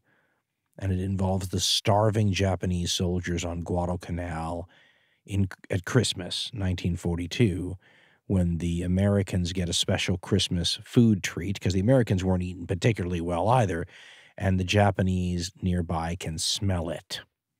And Pike writes, quote, While the Japanese were receiving their last supplies from Rabaul on Christmas Day, gifts of boiled lollies, I don't know what that is, by the way, tobacco, and matches were being distributed to the Allied troops. Field kitchens served a special dinner of meatloaf and preserved peaches. The smell of American delicacies drove the Japanese to despair. Private Nishimura recorded a bizarre incident in which one of his colleagues, an English speaker, declared, I've had enough. He stripped to his underpants and, feigning drunkenness, staggered towards the American lines. Silence followed, only occasionally interrupted by laughter. The Japanese soldier returned several hours later bearing food, a gift from the American soldiers a few yards away. Few Japanese soldiers, he writes, were as fortunate. By Christmas 1942, though, the situation in Guadalcanal is almost over. By the end of the year, the emperor gives permission for the Japanese troops to withdraw, and they launch a campaign to try to evacuate some troops from the island. And by February 1943, the Americans declare the area secure. The final casualties are, however, sobering when you combine the land casualties with the casualties from pilots in the air, the casualties of the naval soldiers on both sides. Richard B. Frank says the American forces lost 7,100 people. The Japanese forces at least 30,343 people. The casualty rates were very lopsided. And 75% of the Japanese killed died due to disease and starvation. This is an example of the cruelty, if you will, of the Japanese strategy here in this war the idea that they're going to take these islands and then they're going to force the Allies to take them back, and they're going to win over the Allies because their people are willing to suffer more. They may be right about that, but the suffering that they put their own people through is cruel to the extreme.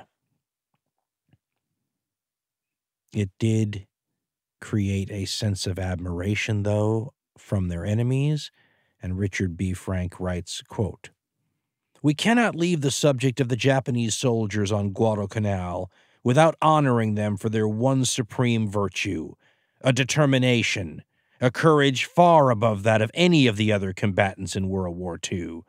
John B. George, a junior infantry officer who faced the Japanese at the Gifu, I think it's Gifu, and later in Burma, wrote, quote, most of us who have fought in the Pacific are ready to admit here and now, away from all the convincing first-hand evidence we've seen mass starvation, untold suffering, shell shock, cannibalism, mass suicide that for sheer, bloody, hardened steel guts, the stocky and hard muscled little Jap doughboy has it all over any of us. End quote. Frank continues.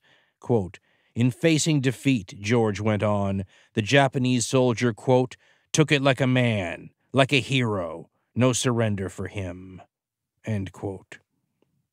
In his book, The Rising Sun, author John Toland quotes a um, report from Lieutenant General George C. Kenney to Hap Arnold, the head of the U.S. Army Air Forces, pointing out that the people back home, including the War Department, had no conception of the problems facing the troops in the Southwest Pacific and says, quote, The Jap is still being underrated.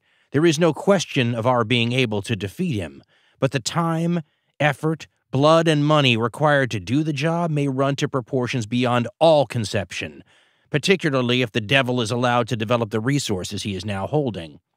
Let us look at Buna, he writes.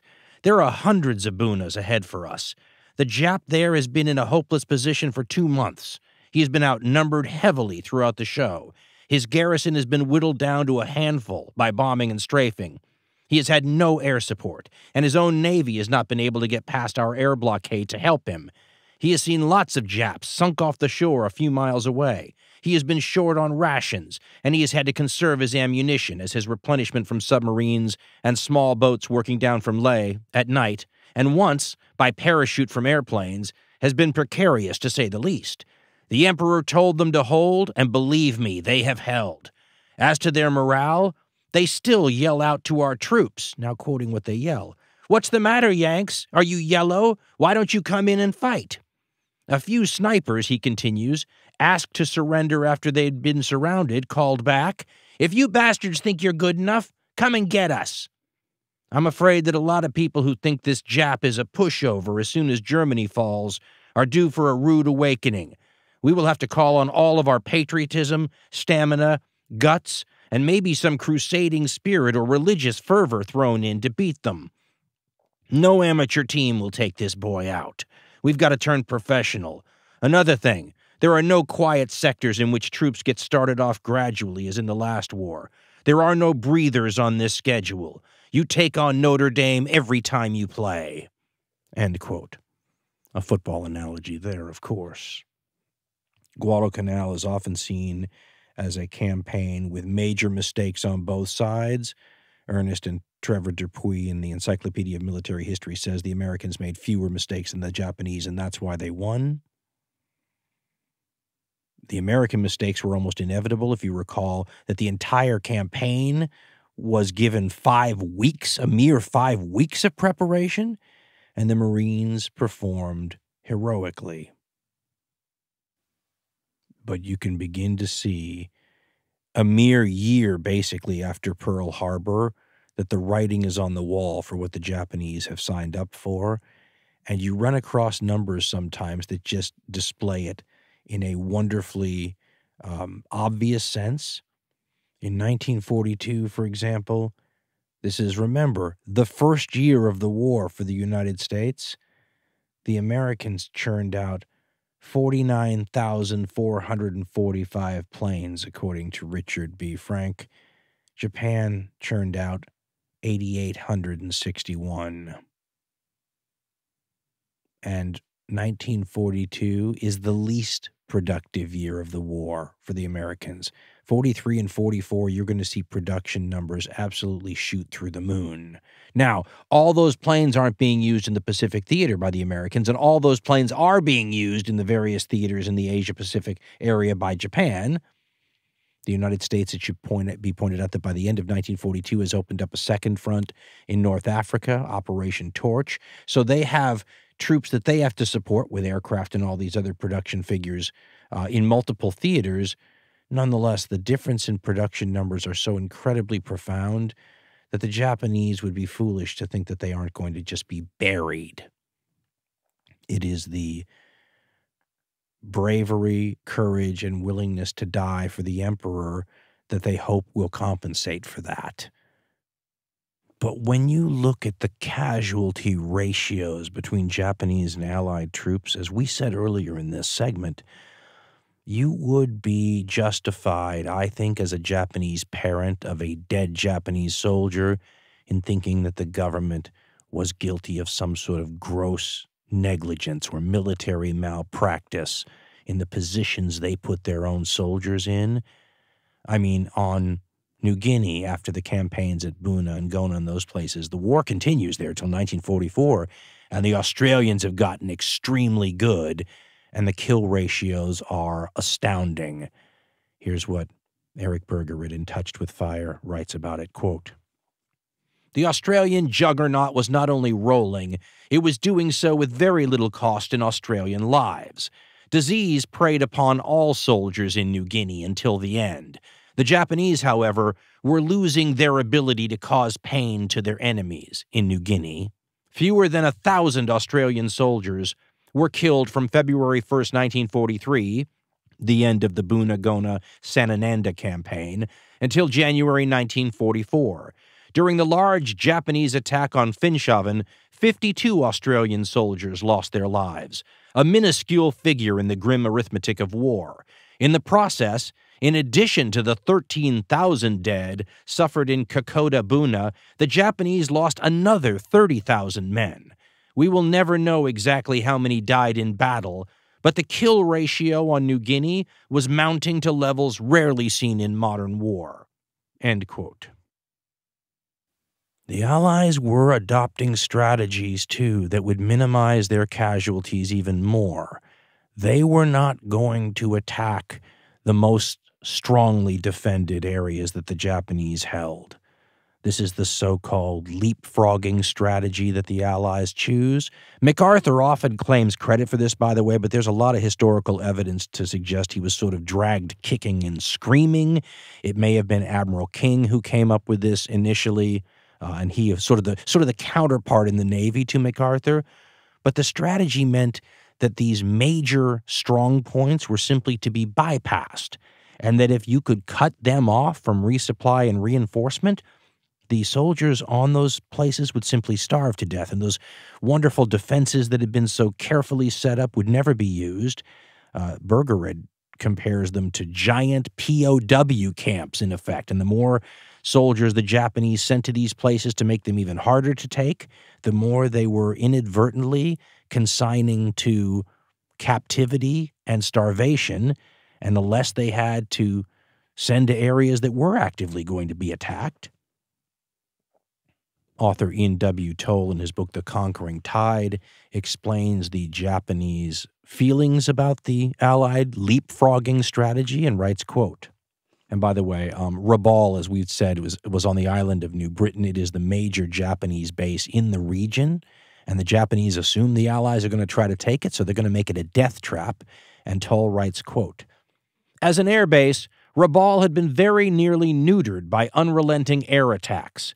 But with units streaming into the lines from points west, Japanese troop strength approached a 100,000. Surrender was beneath consideration, of course, so the garrison began to prepare for a climactic fight to the last man.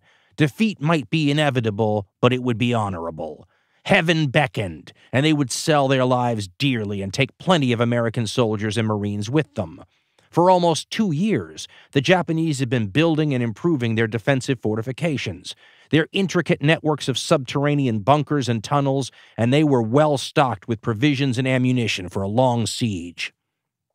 He writes, So they waited and waited and waited, and the Americans did not come. The defenders were denied even the consolation of dying for the emperor, a Japanese intelligence officer interviewed after the war admitted that the Japanese, quote, end quote, hated the leapfrogging strategy, perhaps because it offended their sense of honor. But he added that they respected it and understood its wisdom. Now, quoting the intelligence officer, quote, the Japanese army preferred direct assault after the German fashion, but the Americans flowed into our weaker points and submerged us, just as water seeks the weakest entry to sink a ship. End quote. This, of course, is not to say that there weren't terrible, terrible fights to come. Even the so called weaker points in the Japanese defense perimeter were going to be extremely difficult to take. And this leapfrogging strategy that bypassed these major areas still had to take a ton of other islands in order to do so. If you looked at a map of the region in the southwest Pacific, you will see that MacArthur and the U.S. Army and the Australians and New Zealanders are coming up through New Guinea towards Rabaul on one side. On the other side of New Britain and Rabaul, the Navy and the U.S. Marines are working their way up the uh, Solomons, the island chain there, and they will sort of cut off Rabaul. Now, the fighting, though, working your way up the island chain is brutal. Take New Georgia, for example. After a nice uh, rest period after Guadalcanal is over to restock your forces and get them ready. The Navy and the Marines uh, and Army units also start working their way up the island chain on the 21st of June 1943 or thereabouts. The uh, Americans land on the island of New Georgia, and it is brutal. One of the main areas on New Georgia is called Munda, and here's what Ian W. Toll in The Conquering Tide writes about that. Quote, The 4,500 man Japanese garrison had dug in deeply and well, and the terrain was abysmal. The Munda campaign was a photo negative of the fight on Guadalcanal, with the Japanese and Allied positions reversed. Now it was the American soldiers and Marines who struggled through swamp and underbrush, losing contact with adjacent units and suffering heavily under harassing attacks by the enemy. Japanese units, he writes, launched nighttime banzai attacks, accompanied by shouting profanities and taunts in broken English. Two green American Army regiments broke and ran, throwing down their weapons. Several were shot by other American soldiers who mistook them for enemy, and several dozen had to be evacuated because of quote end quote psychoneuroses. One officer recalled that fear was like a disease that spread through the ranks eventually transmuting into mass panic. Discipline and morale crumpled. Now quoting a soldier, quote, by morning, in an unmanageable mass, men were huddling in groups along the trails to the rear and pursued savagely by the enemy that caught up with many of them, and to use an archaic phrase, put them to the sword. Toll says that, quote, Eventually, all available reserves were committed to the capture of Munda. Three Army divisions required a full five weeks to secure the airfield. 1,195 Allied servicemen were killed in the effort. Most of the defenders died or took their own lives. End quote. We've talked about how much hate there was amongst both sides, and yet there are memories, as we said, that stick in the memory banks of the soldiers and Marines who had to fight in these campaigns. In his wonderful book that we've quoted already from uh, Into the Rising Sun, Patrick K. O'Donnell talks to Harry Clark of the 4th Raider Battalion fighting on New Georgia. And he remembers this quote We took Viru Harbor, a lot of boom boom and bang bang. It was a blur. It was kind of bewildering to say the least. There's nothing orderly about modern combat. I'm sure you've been told that enough that you're about to vomit in your wastebasket. It's a blur of sound. The only thing you're whittled down to immediately is the base person you are. You know what you're supposed to be doing. Then he sighs, it says. I shot this guy. Thank God he was Japanese and not American, or I would have made the biggest mistake in my military career. He sighs again. Being a scout sniper, I've been cautioned over and over to look for papers, look for documents. This, that, and the other thing. This soldier was about six feet, the guy he shot, clean as a whistle. Most were starving to death and filthy and dirty. This guy was as clean as a whistle, and around his neck he had the most gorgeous miniature painting of himself in Shinto robes. I took his dog tags and papers he had in a side pocket and turned them over to military intelligence. They're the ones who told me his name, something that has haunted me for my entire life. They said, now quoting them, quote, This is a second lieutenant. They don't call them that, but he's like a lieutenant in their special landing forces. They're Marines. And his name was Ryuki Yanagara. Now quoting the Marine again, quote, I'll tell you, I cannot remember the names of so many people to whom I owe so much but I remember his name. It's terrible to find out the name of somebody you killed. Later, I was in Japan with the Dow Chemical Company, and I ran an article in the newspaper, and the article said, quote, Anybody interested in knowing about Ryuki Yanagara, Special Landing Forces in World War II, please contact Harry Clark at such and such a hotel. And then he says, At my age, I'm forgetting so many things, but the last thing I'll ever forget is Ryuki Yanagara. End quote. I once again remind us all to remember what is in the memory banks of these guys. And long after we've forgotten about the war, they haven't forgotten about the people they killed, the people they lost, the friends, and the visions that haunt their nightmares. By the time the new Georgia campaign kicks off, the most important and well known figure in the Japanese military is not around to see it. The great Admiral Yamamoto, who is head and shoulders uh, above most of the other, all of the other Japanese military officials, will be shot down by American pilots on April 18, 1943. The result, once again, of American intelligence advantages and crypto analysts who are able to decode the Japanese messages announcing that Yamamoto is going to be in the region. They ambush him, they shoot him. He's found later with 250 caliber bullet wounds, apparently sitting in his chair after the plane that he is in is shot down and crashes in the jungle. And um, one American said that this was the equivalent of winning a large battle against the Japanese, that there is no other Japanese military officials anywhere near his caliber. And for the Americans, we had said during the Battle of Midway that it was essentially like paying back an Osama bin Laden when the Americans sunk those Japanese carriers. Well, from the American point of view, an Admiral Yamamoto is like an Osama bin Laden. And so to be deprived of his leadership at this point in the war is almost symbolic of where things are going for the Japanese war effort because by mid 1943, things are starting to look extremely bleak. And in hindsight, you can see that it's getting impossible to imagine things turning out in any way, shape, or form the way the Japanese would hope. I mean, if you look at the number of aircraft carriers that the U.S. puts uh, you know, into into operation from late 1942 all through 1943. It's something like seven big carriers and a ton of escort and light carriers. The Japanese are commissioning very few ships, and the attrition is taking a toll on a bunch of ships that normally you don't pay attention to. You know, everyone focuses on the big ships and the important ones. But there's a lot of things like destroyers and transports and things that are vitally important to day to day operations that are being destroyed regularly. And they're not being replaced regularly. In fact, some of the really heartbreaking things that you read about in this campaign, if you're Japanese, are the numbers of Japanese soldiers that end up drowning when their transports are sunk. I mean, I think there was thousands and thousands in one incident alone that went to the bottom of the sea before they ever even got to land and fight.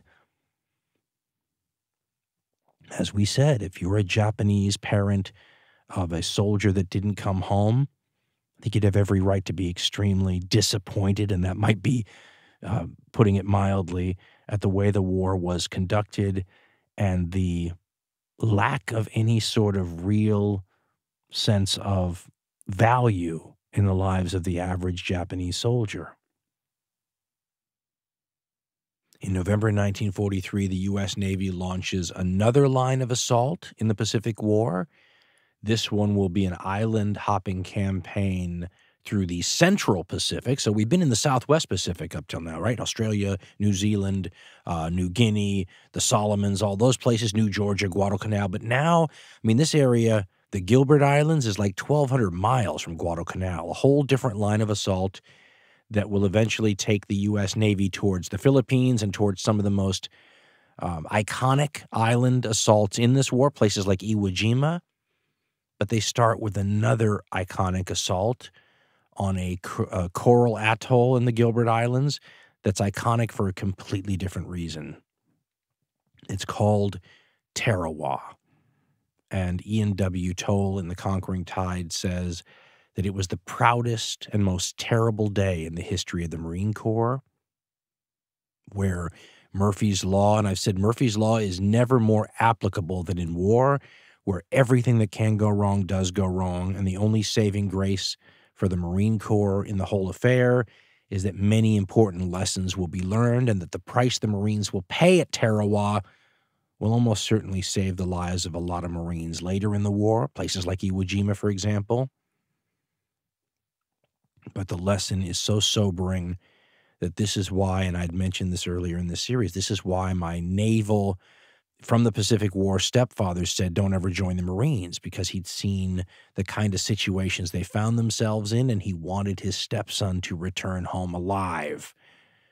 All you have to do is look at the photographs, and they are shocking of Marines chest deep in water on coral reefs, wading with their rifles over their head towards the shore as Japanese machine guns, something like a hundred of them, crisscross the water, shooting down the Marines when they're absolutely helpless trying to just get to the shore. Tarawa is nightmarish. Then the bombardment that starts on the 13th, 14th, 15th of November, um, they will shoot, drop, and lob something like six million pounds of ordnance onto this little teeny place. I mean, the fighting area is about half the size of New York Central Park. The island is heavily, though, fortified and protected. There's about 5,000 Japanese troops there. The admiral that is in charge of them says that a million troops could not take that island in 100 years. In the um, Encyclopedia of Military History, uh, Ernest and Trevor Dupuy de- uh, describe the situation this way quote November 20th, 24th, 1943, Tarawa.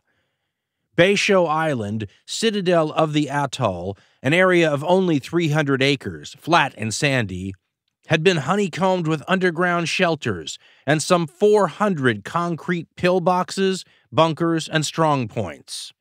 Defending artillery included 8 inch guns brought from Singapore.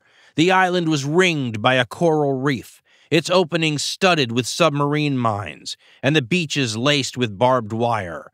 Insufficient reconnaissance and faulty maps had not disclosed that the inner coral reef of Betio itself was too shallow for landing craft. Despite the heavy preliminary bombing and naval gunfire, 4,700 veteran combat troops under Rear Admiral Keiji Shibasaki emerged from their underground shelters to man their defenses as the initial assault waves of the 2nd Marine Division approached. While some amphibious tractors reached the beach, they write, most of the assault craft grounded on the inner reef, and the assailants were forced to wade several hundred yards through crisscross fire, suffering shocking losses. To say that doesn't do justice to what the Marines encountered. Some of the eyewitness assaults do a better job. I should point out that these atolls are very different than Guadalcanal and New Guinea. They don't have giant mountains like like Guadalcanal and New Guinea do. Uh, the high points on some of these atolls are like 10 feet above sea level. And they don't have dense jungle to hide you either. They're pretty open. The good news is not a lot of places where you're going to get terrible malaria like you do on the Solomons and whatnot. The bad news is when the Japanese start shooting at you, there's no place to duck, cover, and get out of the way. Uh, the Marines will initially pile up on the beach behind a giant retaining wall that the Japanese made out of cut uh, coconut trees and the, the logs stacked up. So you see these Marines who arrive in the first wave. They have the landing craft. There's a small number of landing craft that have tracks, and the tracks go right over the coral reef and land them on the beach, and they're stuck there waiting for the subsequent waves of troops to join them. Those are the waves in Higgins boats, a different kind of transport craft that get caught up on the reef, while the Japanese are beginning to blow them up with accurate fire. And sometimes the drivers of these boats begin to panic. There will be quite a bit of animosity, and I think we mentioned this very early on between the Marines and Navy and Coast Guard drivers who will drive them from the ships to these beaches they storm, because sometimes those guys don't want to get anywhere near the beaches that these Marines have no choice but to assault. The eyewitness accounts are brutal. There's a Time Life book series, a whole series on the Second World War, and they have one book called Island Fighting with a lot of primary source accounts that bring the chaotic and heartbreaking, well, I guess unless you're Japanese, uh, scenes to life. One of the ones that caught my attention uh, specifically had to do with um, some of these vehicles being blown up in the water as they went from the transport ships trying to get the Marines to the beach. Here's the way the uh, book describes it quote, only a handful of Amtraks remained to shuttle them, meaning the Marines, in across the lagoon reef. In fact, there were no Amtraks at all in sight when Major Robert Ruud's, 3rd Battalion, 8th Marines, reached the reef opposite Red Beach 3 in Higgins boats. As the ramps of the boats came down, Marines on shore heard a sound, quote, like a steel girder hitting concrete, end quote, and one of the boats disappeared. Quote, it had been there, said one eyewitness, and then suddenly it was not. In its place, for a split second, there was a blur in the air, and then there was nothing. Then came another grinding crash, and a second boat vanished. The Japanese had the exact range. Beyond the reef, the coxswain of a third boat panicked. Quote, This is as far as I go, he yelled, and let down his ramp, and a boatload of heavily laden men drowned in 15 feet of water. End quote. Well, the ones that didn't drown found themselves sometimes in neck deep water on a coral reef that could cut right through your shoes, holding their rifles over their heads as the machine guns raked the sea around them. Quote, the remainder of Ruud's battalion began wading in. Few lived to tell of it, but there were many witnesses. Colonel Shoup radioed Major Crowe, quote, is landing to your rear and catching hell, end quote. Crowe and his men could see for themselves. So could a sailor on the Dashiell in the lagoon, that's a destroyer, watching through binoculars. Later he recalled, and this is the recollection quote, it was like a war movie. Those poor guys plodding in chest high water and getting shot down. I tried not to look, but I couldn't turn away. The horror of it hypnotized me.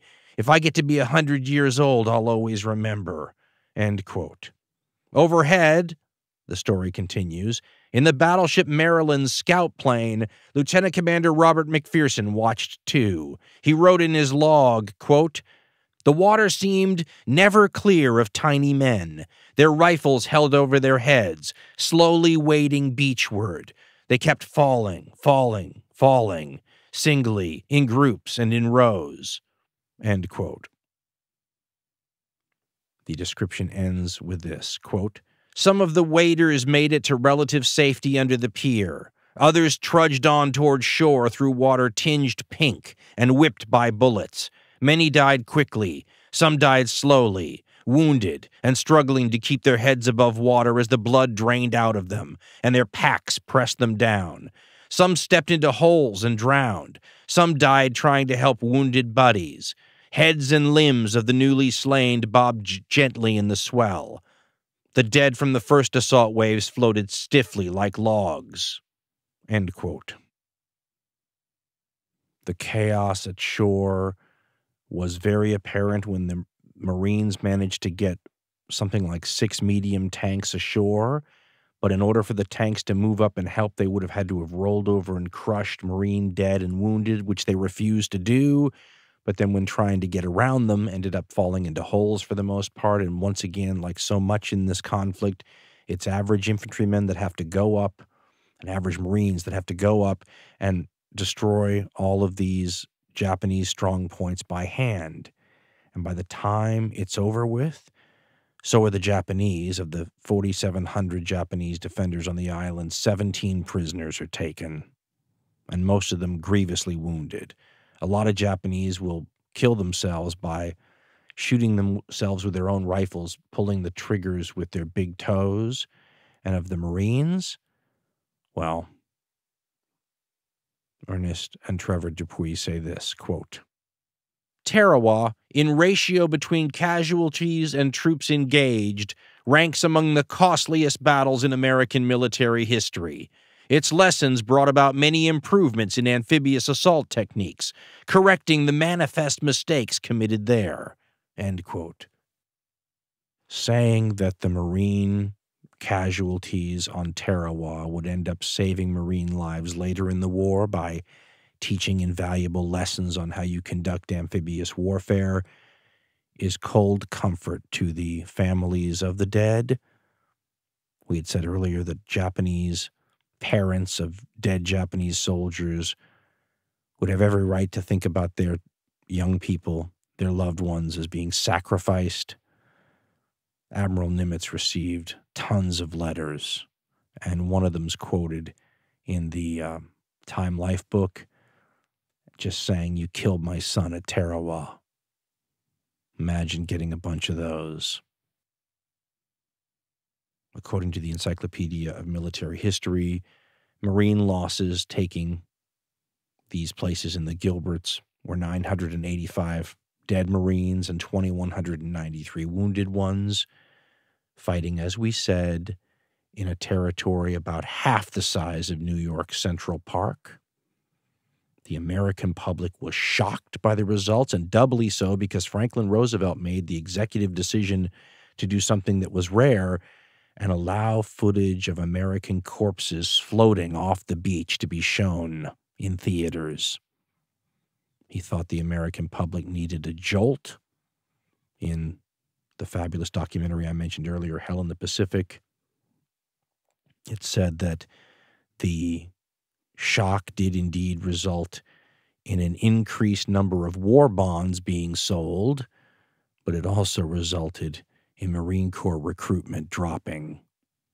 For the same reason my stepdad probably didn't want me in the Marines. He called it a suicide squad. And when you saw those elite Marines wading 700 yards in chest deep water under machine gun fire, well, if you're a parent, you probably don't want your son doing that.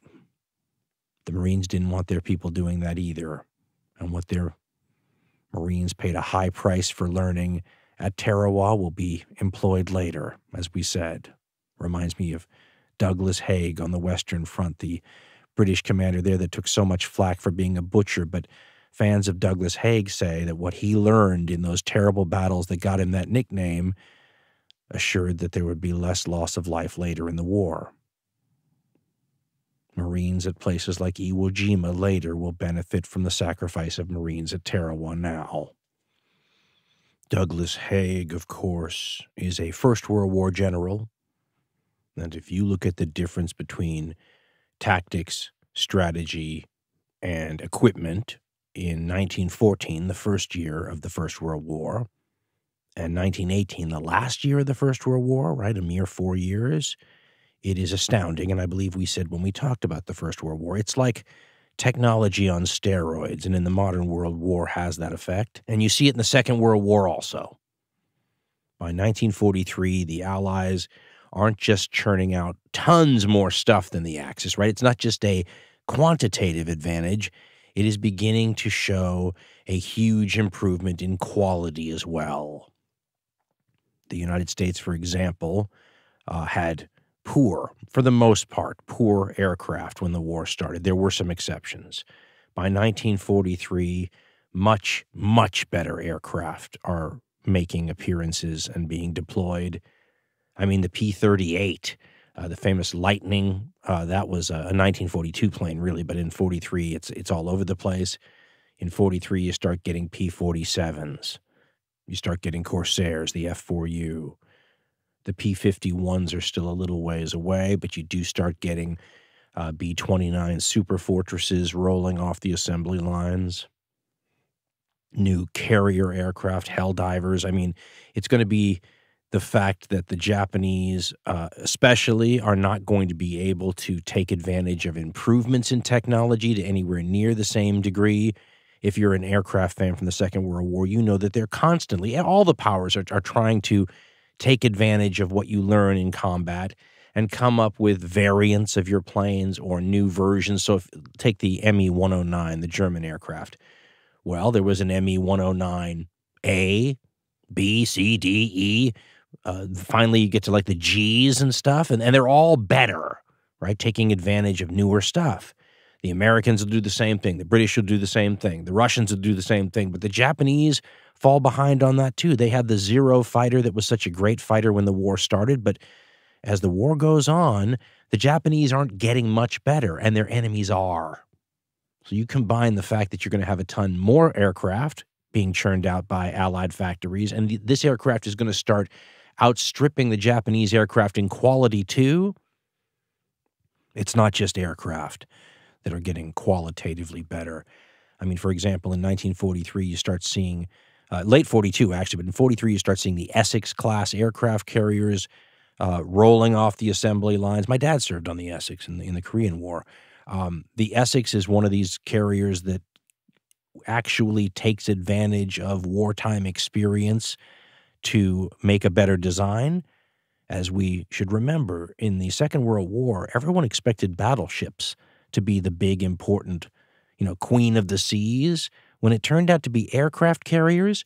The aircraft carriers that Japan and the United States had, for example, were ones that were designed before the war, before they knew that these were going to be the dominant ships, and before they had any chance to incorporate real wartime lessons into the design. The Essex class carriers are different, and people who talk about them, uh, I was reading a whole thing on them just the other day. Were saying that they're they're significantly better than the pre-war aircraft carriers. Uh, the Japanese are not going to get a chance to incorporate those wartime lessons in ship design anywhere near as um, effectively because they produce so so many fewer ships. The Japanese are going to rely on converting battleships that are under construction into aircraft carriers. I mean, they're going to try stopgap measures to help themselves. Meanwhile, the United States is creating like seven, eight, nine new fleet carriers a year. I mean, it's it's a dynamic that the Japanese can't win. It's a steamroller by 43. And 1943 shows you that the Axis are beginning to lose everywhere. We said the beginning of 1942 to the end of 1942, it's like night and day.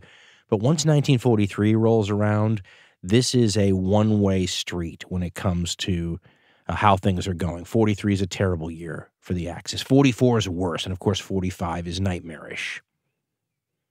1943 is the year that the Allies uh, kick the uh, Axis powers out of North Africa. They then quickly cross the Mediterranean and invade the island of Sicily. Then they quickly cross from the island of Sicily to Italy and knock the Italians out of the war. Mussolini is deposed in 1943. So he's one of the big three, right? Tojo, Hitler, and Mussolini. The Germans flip out, as you might imagine, when Italy decides it's going to declare war on them now, and they quickly occupy the country and they start fighting the British and American forces in the tough mountainous terrain of Italy with Mussolini controlling sort of a rump symbolic state that's propped up by Hitler. But the writing's on the wall. Also in 1943, the bombing of German cities really ramps up. 42 saw, you know, the thousand bomber raids and all that. But by 43, it's almost round the clock bombing. The British at night, the Americans by day. And eventually, uh, this will begin to take its toll on German quality because German designs will be uh, almost Captain America ish, you know, crazy technological stuff, you know, jets and all these other things. But slowly but surely, you see the whittling down of German parts and the tool and die industry and the ball bearings and all these things that suffer from the bombing. So that by 1945, you may have these really sophisticated German designs, but the internal parts and whatnot are substandard by German standards. And so that will begin to erode some of the value in these high tech designs and will also make it harder for the Germans to churn out some of this um, cutting edge stuff in any sort of numbers that could make a difference. On the Eastern Front, the Soviets are now, by the end of 1943, pushing the Axis forces irrevocably and irreversibly back toward the frontiers of Germany, all the conquered territory that the Germans had taken in 1941 and 1942 is being won back at huge costs by the Soviets. And even though some areas will remain in German hands longer than others, the long fighting retreat back towards Germany has begun. And of course, in Britain, the stockpiling of troops and aircraft, supplies, equipment, and transport ships is well underway for the long awaited, much anticipated reinvasion of Western Europe that will culminate with the June 6, 1944 landings at D Day in Normandy. So the Axis is in real trouble by the end of 1943. You can see how things are speeding up in the Pacific by the fact that the Allies, the Americans uh, especially, start increasing the speed of their timetable beyond what they thought they would. They'd had estimates for how long it would take to move from this island to that island, and they throw those timetables out and they start going more quickly. What's more, the fact that they have control over a lot of the code breaking, as we said, and the intelligence allows them to see where the Japanese are deciding to put their reinforcements, right? They'll reinforce this island and then that island. So the Americans will go to other islands it is absolutely a confounding strategy for the Japanese. This is really the point in the war where you can find yourself, as I do now, somewhat morally conflicted by how you feel about the Japanese situation. Because on one hand, in the in the so-called good war that the Second World War is portrayed as, these are the bad guys, and to feel sorry for them is like feeling sorry for Nazi Germany. But I always try to remind myself that there are a lot of people in a place like Japan who didn't support where things are or wouldn't have. And they're trapped along with the people that maybe deserve some level of retribution. And all of them, I would think, have some bone to pick or a good argument to be made against a government that puts them in the situation that they find themselves now because they're about to reap the whirlwind. We've said all along that Japan, this whole time, has been punching above its weight class. How astounding their conquests have been to this point. Because Japan has no right to expect that they could do what they've done. We compared it to the Japanese rising sun going supernova and the explosion has taken the blast radius to the borders of India in one direction, to the borders of the Soviet Union in the north, all the way to Midway Island, you know, nearing Hawaii in the west, and down south all the way to New Guinea and the Solomons. It's an amazing achievement for a small island nation. An, a nation that is resource poor, a nation whose industry is only formidable when compared to its regional competitors but punching above your weight class often doesn't last. And they're about to find out exactly why they're forced to use their human capital in such a reckless and heartbreaking fashion because they have to make up for the material capital that they lack. Ian W. Toll in um, The Conquering Tide has a story that just perfectly exemplifies how ridiculously outclassed the Japanese are at this point in the war once the the great arsenal of democracy in the United States, for example, has ramped up. And you see big companies like Boeing and Grumman and Douglas, these aircraft companies that are churning out assembly line production of planes. And the Japanese still have skilled small craftsmen churning out theirs. And he tells a story about how the Mitsubishi plant that is making the Zero fighters has no airfield next door to it. And so they have to transport the newly made Zero fighters. Can't do it on a truck. Apparently, they're too fragile. Can't do it on railroads. There's no railheads near the factory. So they use beasts of burden to do it. Oxen towing these fighter planes the 25 miles that they need to go. And by this time in the war, they can't get feed for the oxen except on the black market. And when that starts to fail, Toll says, the oxen start to die. And so they can't get the planes the 25 miles they need to get them so that they can be used.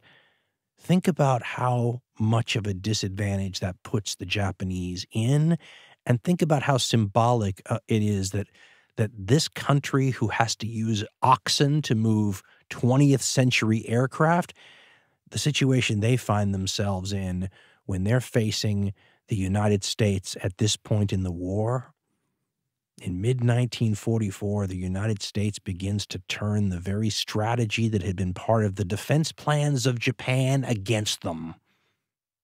We have said for a long time now, haven't we, that the Japanese plan here was to have a a chain of island outposts, a defense perimeter made up of islands that had airfields, that could throw up an interconnected web of air cover over the entire region, shutting down sea lanes to their adversaries, sinking Allied fleets, destroying Allied bases on other islands.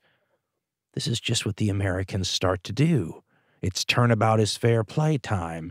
And if you look at a day to day rundown of events in the Pacific War, you will notice a growing number of air attacks over a wide range of territory almost all the time. Some of them are uh, moderate in size, but some of them are very large. I mean, for example, on February 18th, 1944, American carrier planes, hundreds of them, strike the Japanese naval base at Truk in the Carolines. Now, Truk is uh, the main naval base for the Japanese in the Pacific. It's been called the Gibraltar of the Pacific. It's been called the Japanese Pearl Harbor. But MacArthur's Southwest Pacific advances and the Solomon Island advances have already been cutting those areas off, making them less valuable. The Japanese have had to rely on it less and less. They moved a bunch of the big ships out. But when the Americans strike on February 18th, uh, they they destroy almost 300 Japanese planes, most of them on the ground. They sink something like 200,000 tons of shipping, much of it crucial and vital and in short supply merchant ships.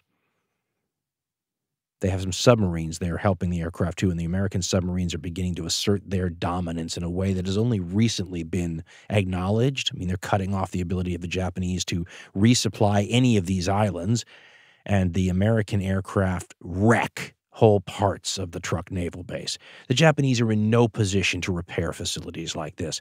They've got to pick and choose where they can operate and where to put precious fuel and where to risk things like merchant ships. And there's going to be several major uh, events where uh, whole merchant ship fleets will go down, taking hundreds or thousands of Japanese fresh troops on the way to somewhere or being evacuated from somewhere else to the bottom of the sea. It's becoming hard for the Japanese to move. Unfortunately for them, the Americans are doing a darn good job of it against all odds. The logistical challenges, I mean, if you actually, it's kind of the non sexy side of war, as we've been saying. If you go look at the actual things the Americans have to do to supply their people over thousands and thousands and thousands of miles of ocean, it is a triumph of modern industrial skill and logistics. As we've said, the Americans uh, have been starting the Central Pacific Campaign, and that's what Tarawa in the Gilbert Islands was part of. But in February 1944, you get the next jump. Look at your map, right? From the Gilberts all the way to the Marshalls. So in the first week of February, the Americans take Kwajalein. In the third week of February, they take Eniwetok. Now, these islands are fought over and they're deadly, but they're nothing like Tarawa. And that's partly because of what was learned at Tarawa. Now, the problem for the Japanese, though, is the next jump from the Marshall Islands is to the Marianas. And the Marianas are part of what Japan has now called the absolute national defense zone. So, this isn't an area that's on a perimeter that you're hoping to conquer out to and then defend. This is part of an area that the Japanese consider to be like home island stuff. Places like Saipan and Tinian and the former American possession till the Japanese took it of Guam. If the Marianas fall into Allied hands, the Japanese have done the math and realized that the brand new American heavy bombers, the B 29 Super Fortresses, now rolling off the assembly lines. Yeah, if they're taken off from air bases in the Marianas, which are closer to Japan than Hawaii is to California, they'll be able to make the round trip to Tokyo and back, bomb the Emperor's Palace if they want to, at will. The B 29s have been able to reach Japan from bases in China, but that is small time stuff compared to the round the clock nastiness that the Japanese can expect if the Americans capture the Marianas, which is why they're part of the absolute national defense zone. Everyone realizes how big of a deal this is, no one's quite sure when and where the Americans are going to attack, though, because their timetables keep catching the Japanese off guard. And, and the Japanese are not reading American codes, but the British and Americans are reading Japanese codes. At around the same time that the June 6, 1944 D Day landings at Normandy are about to happen, the great preparations for landings in the Marianas are taking place and the challenges are you know everyone knows about d-day and normandy and that gets a lot of press but as a military historian naval historian craig l. Symonds writes in his book um, world war ii in the pacific the challenges are not even comparable between the marianas landings and, and normandy and he writes quote the American buildup for the invasion of Saipan, codenamed Operation Forager, occurred simultaneously with preparations for Overlord, Overlord, of course, the code name for D Day, Measured by firepower, he writes, the Saipan invasion fleet was even larger than the one devoted to Normandy. Raymond Spruance, the admiral, commanded the overall invasion force that included Pete Mitscher's powerful Task Force 58, which by now consisted of 15 aircraft carriers, 7 battleships, 11 cruisers, and 86 destroyers. It would provide cover for an invasion force that included 56 attack transports and 84 LSTs, those are landing craft, carrying 127 571 soldiers and Marines. For comparison purposes, 15 aircraft carriers, and some of these are light carriers, but they'll still make a huge contribution. 15 aircraft carriers is more than double the total number of aircraft carriers the U.S. had in its entire Navy at the time of Pearl Harbor. So you can see how this one task force is bringing to the table firepower uh, that the U.S. has never had. No one's ever had. It's more than 500 ships that will finally, you know, take part in these Saipan landings these Marianas attacks. Symonds continues, quote, The invasion of Saipan also required a much longer sea lift than at Normandy. While the invasion forces for Neptune Overlord, that's Normandy, had to leap 50 or 100 miles across the English Channel, many of the transports and amphibious ships loaded up at Pearl Harbor, more than 3,500 miles from the target beach. For Neptune Overlord, the landing craft could and did shuttle reinforcements and supplies to the beaches in a near constant rotation for weeks after the initial landing. For Saipan, by contrast, the men, equipment, the supplies, and the ammunition all had to cross the broad Pacific in a single giant stride. Eisenhower, he continues, had warned Marshall that a shortage of LSTs landing craft at Normandy could mean that his invasion force might be stranded on the beach for as long as three days without resupply. By design, the men who invaded Saipan would be stranded there for three months before significant reinforcements or supplies could reach them. Though, of course, he writes, the Japanese too would have to fight the battle with what they had on hand, since Saipan would be virtually cut off from support. End quote. In his book Eagle Against the Sun, Ronald H. Spector describes how the Marianas are going to be a different animal than Tarawa and the Coral Atolls was. It was going to be more like those battles in the Solomons and maybe even New Guinea.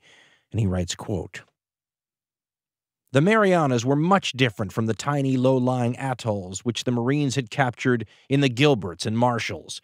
Saipan, Tinian, and Guam were large and varied land masses, with everything from swamps and sugarcane fields to high, jungle covered peaks and steep ravines.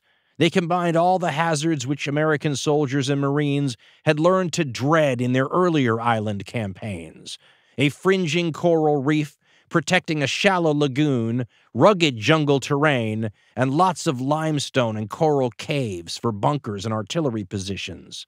End quote. American intelligence has been very good, as we said, and they have a huge jump on the Japanese because they and the British are reading Japanese codes. But they don't know that the Japanese have about twice as many defenders on the island as the Americans think they have. That's going to be a nasty surprise.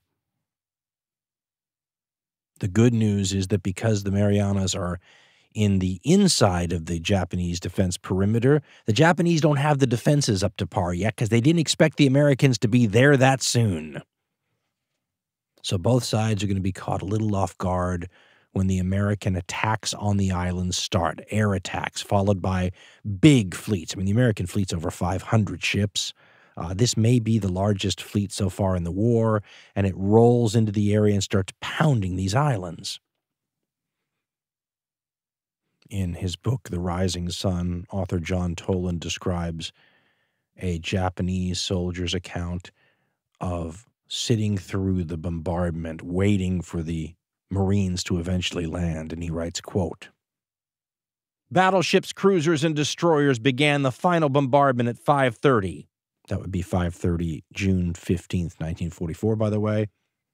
The dug-in defenders, he writes, along the beaches and on the slopes crouched through the ordeal, prepared to fight to the death. One made a final notation in his diary, now from the Japanese diary, quote, We are waiting with Molotov cocktails and hand grenades, ready for the word to rush forward recklessly into the enemy ranks with our swords in our hands. All that worries me is what will happen to Japan after we die. End quote. The Marines and um, and Army troops too, because there's going to be an Army division in reserve here, are themselves wondering about what it's going to be like and what sort of hell they're going to encounter when they get to the beach. They are being given a little bit of information from exactly the wrong people.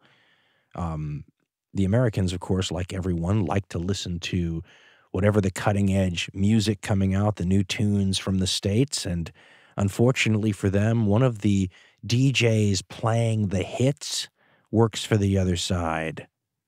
John Toland writes, quote, a more ominous admonition came from a graduate of UCLA, an American girl of Japanese descent who had been visiting a sick aunt in Japan when the war broke out. Nicknamed Tokyo Rose by the Americans, she first went on the air as Anne, short for announcer, and currently called herself Orphan Annie, your favorite enemy.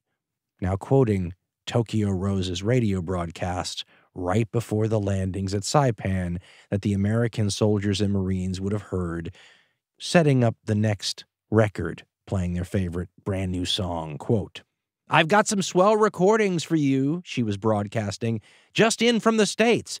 You'd better enjoy them while you can, because tomorrow at 0600, you're hitting Saipan, and we're ready for you. So while you're still alive, let's listen to, end quote. And then, of course, she'd say, whatever the song was, right? Before, while you're still alive, here's a little Tommy Dorsey for you, something like that.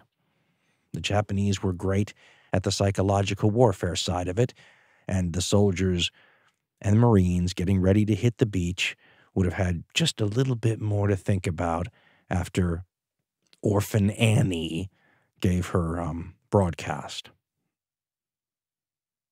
When the actual landings start, again, you can see the advantages of the lessons learned at places like Tarawa because they have enough of the landing craft so that the Marines don't have to go wading through the water with their rifles over their head being shot with machine guns. The landing craft, in an almost, I mean, they've really synced up how the landing craft hit the beach almost simultaneously. Now, I should point out that despite a massive naval bombardment and aircraft everywhere, the Japanese were there and ready. So the American Amtracs and everything coming into the beach was working better. Unfortunately, the Japanese were also ready for the attack, and Ronald H. Spector writes, quote, the result was that the Amtracs and armored amphibians churning toward the beach on the morning of June 15th encountered fierce resistance. As the first waves left the line of departure, tractor drivers could see large splashes thrown up by Japanese artillery shells falling directly behind them. When the landing craft crossed the reef and entered the lagoon, the enemy unleashed a barrage of artillery, mortar, and machine gun fire. Marines crouched low in the bobbing Amtracs, listening to the whistle of heavy shells and feeling the sickening thud and jerk produced by near misses. The Amtracs and armored amphibians answered with their 75 millimeter guns and automatic weapons, while planes from nearby escort carriers swooped down on the beaches like angry hawks, firing rockets and machine guns and bombing targets just beyond the beach. End quote.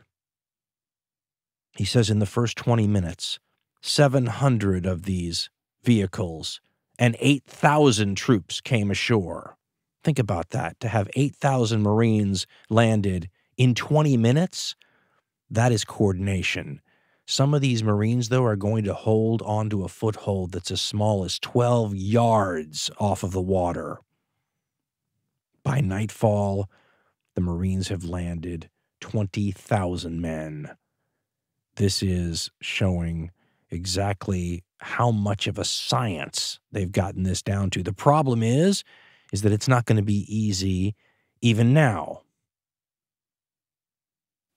At night the Japanese will counterattack uh, the beachheads, they will use tanks, they will fail, but it's the beginning of the kind of battle that the Japanese are going to fight for the rest of the war when they're fighting essentially for the homeland they're also willing to risk much more now that the stakes are so high, including their painstakingly rebuilt battle fleet. There hasn't been a big naval battle in a while now. The Japanese haven't wanted to risk something like this without a good chance of winning or achieving something worth the potential downsides.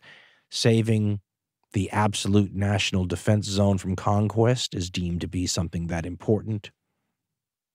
And Ronald H. Spector in Eagle Against the Sun picks up the story, quote, while the Marines were digging in for the night, Lieutenant Commander Robert Risser, captain of the submarine Flying Fish, was peering through his periscope at a parade of Japanese battleships and carriers, silhouetted against the coastline of San Bernardino Strait in the central Philippines, about 900 miles from Saipan. It was the biggest group of targets Risser had ever seen, but he knew that the first priority had to be getting word of this fleet to Spruance and the Pacific Command.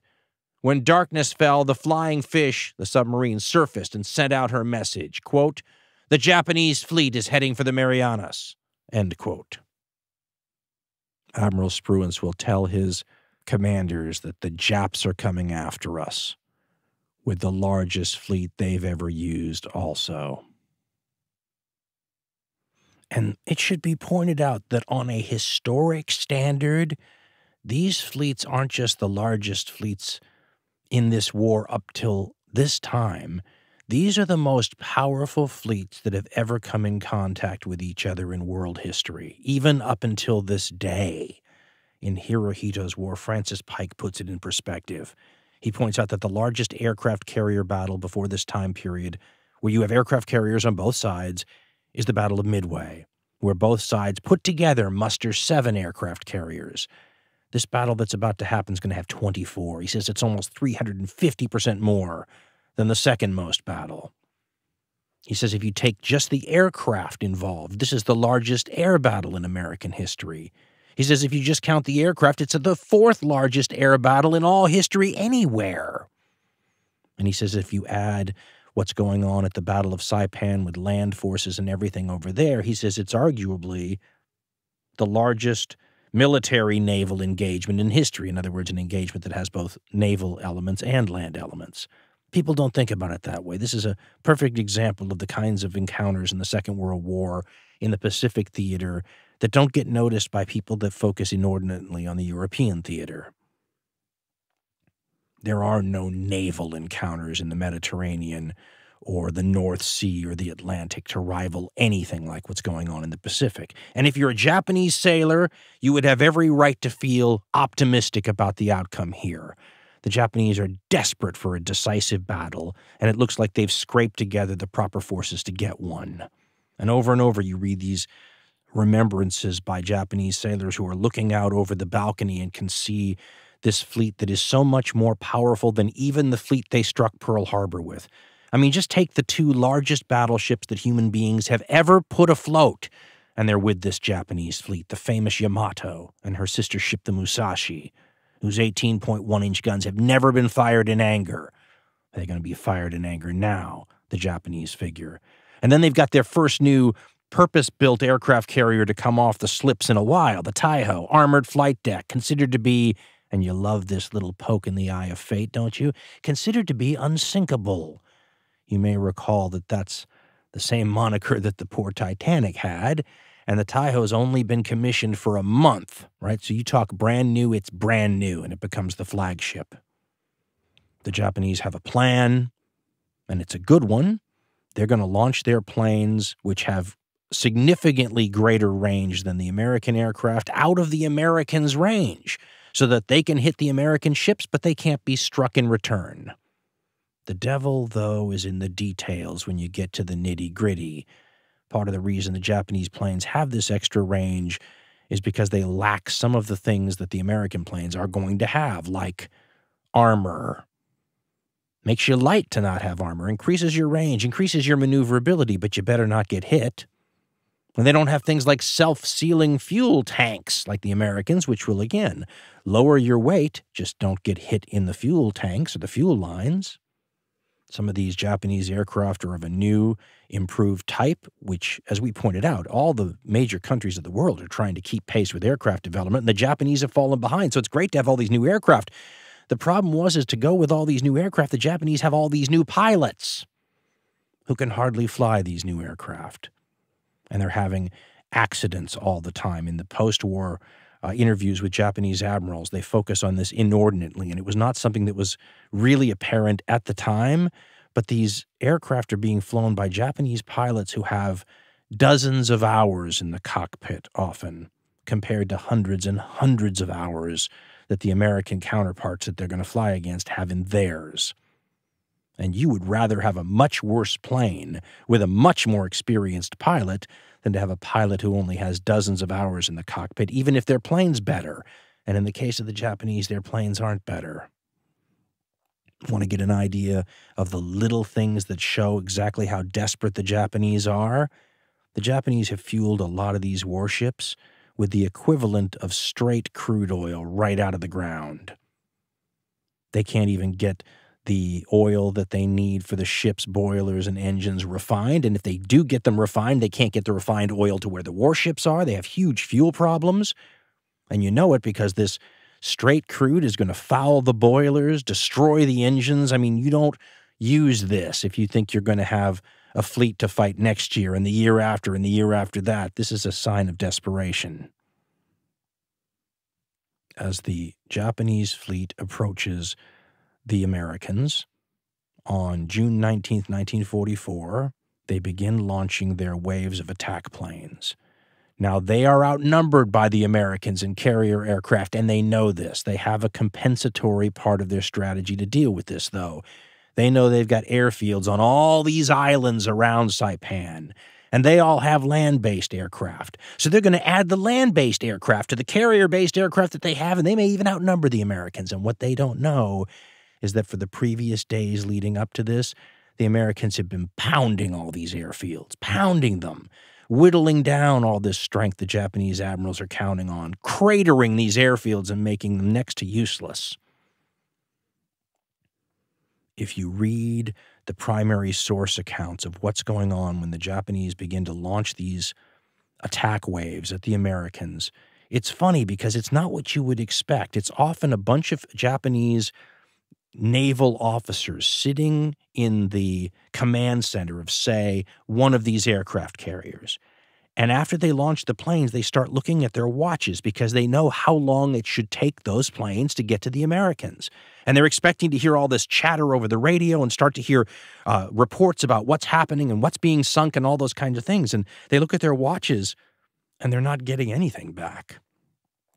So then they figure, okay, this must have happened or that must have happened. And then they look at their watches again a little while later and there's still nothing. And you can sense the unease growing. Something seems wrong.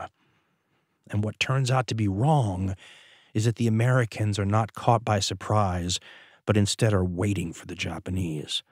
The Japanese have added radar since Midway. So they've got some radar now, but it's not as good as the Americans, and there's very little of it compared to what the Americans had. The Americans are not just loaded with radar, they're putting it in airplanes now. They're putting it in anti aircraft shells, the famous VT shells, which instead of the aircraft having to be hit with an anti aircraft round to explode, the American rounds will sense when the aircraft are near and just explode. This will take a huge toll as well. We had talked earlier about how the Americans are learning how to conduct aerial defense. And by 1944, they've got this down to a science. They've got their aircraft carriers protected with ring after ring of other warships, including at the very outer edges, destroyers that are on picket duty so that when the Japanese aircraft show up looking for aircraft carriers, first they have to get through the defensive screen of American planes. If they get through them, then they run into the destroyers. Then they run into the cruisers after that. Then they run into the battleships after that. All of them shooting and filling. Go look at pictures, filling the sky with black puffs, every one of those involving shrapnel going out in every direction. And the Japanese do not make it through these defenses to get to the precious American aircraft carriers. They get massacred by the American fighters. One American pilot who's enjoying this um, unbelievable killing field says this is just like a turkey shoot. And forever afterwards, the Americans will refer to this battle as the Great Marianas Turkey Shoot. What you're really seeing, if you boil it down to brass tacks, is you are seeing veteran experienced combat pilots feasting on a bunch of kids, basically, on a bunch of people who've got no hours in the cockpit, who can hardly land their planes on carriers, and who are being torn to pieces, and who gain almost nothing for their trouble. While the aircraft are being launched by the Japanese aircraft carriers, things start to go wrong already. And an American submarine spots the wonderful, brand new, one month after commission, unsinkable Taiho and launches a bunch of torpedoes at her. In an incident that deserves to be remembered with the name of the pilot, the Japanese pilot name, and I hope I pronounce his name properly, uh, Sakio Komatsu, is above the Taiho, sees the torpedo wakes heading for his carrier, and dives his plane at one of them, and then suicidally smashes into the ocean, destroys the torpedo that's heading for his aircraft carrier, killing himself, destroying his plane, but not keeping all those torpedoes from hitting the Taiho. One of them hits it. And like so many of the Japanese carriers at the earlier battles, doesn't seem to do a lot of damage initially, but stuff starts to add up. Another American submarine spots the Shokaku, which is one of the veterans of the Pearl Harbor attack, launches a bunch of torpedoes at it. What's kind of ironic about this is the American submarine doctrine is not meant to go after warships. Like the German doctrine, it's meant to go after merchant ships. It's the Japanese who build these massive submarines intending to utilize them against warships and kind of, you know, looking their noses down at the idea of attacking merchant ships. And yet here you are with two Japanese aircraft carriers struck by American submarines. And the air complement of these carriers being torn to shreds by American aircraft. This is a sacrifice on the Japanese part that is heartbreaking. And before the battle, the heads of the fleet had raised the flag of Admiral Togo, the Japanese naval hero who won the most famous Japanese naval battle ever, the 1905 crushing victory over the Russians at Tsushima. So they raise that same battle flag and they basically repeat Admiral Togo's message, you know, that the fate of the empire rests on this battle and every man is expected to do his utmost, which is sort of a Japanese version of the Lord Horatio Nelson, the British admiral's line.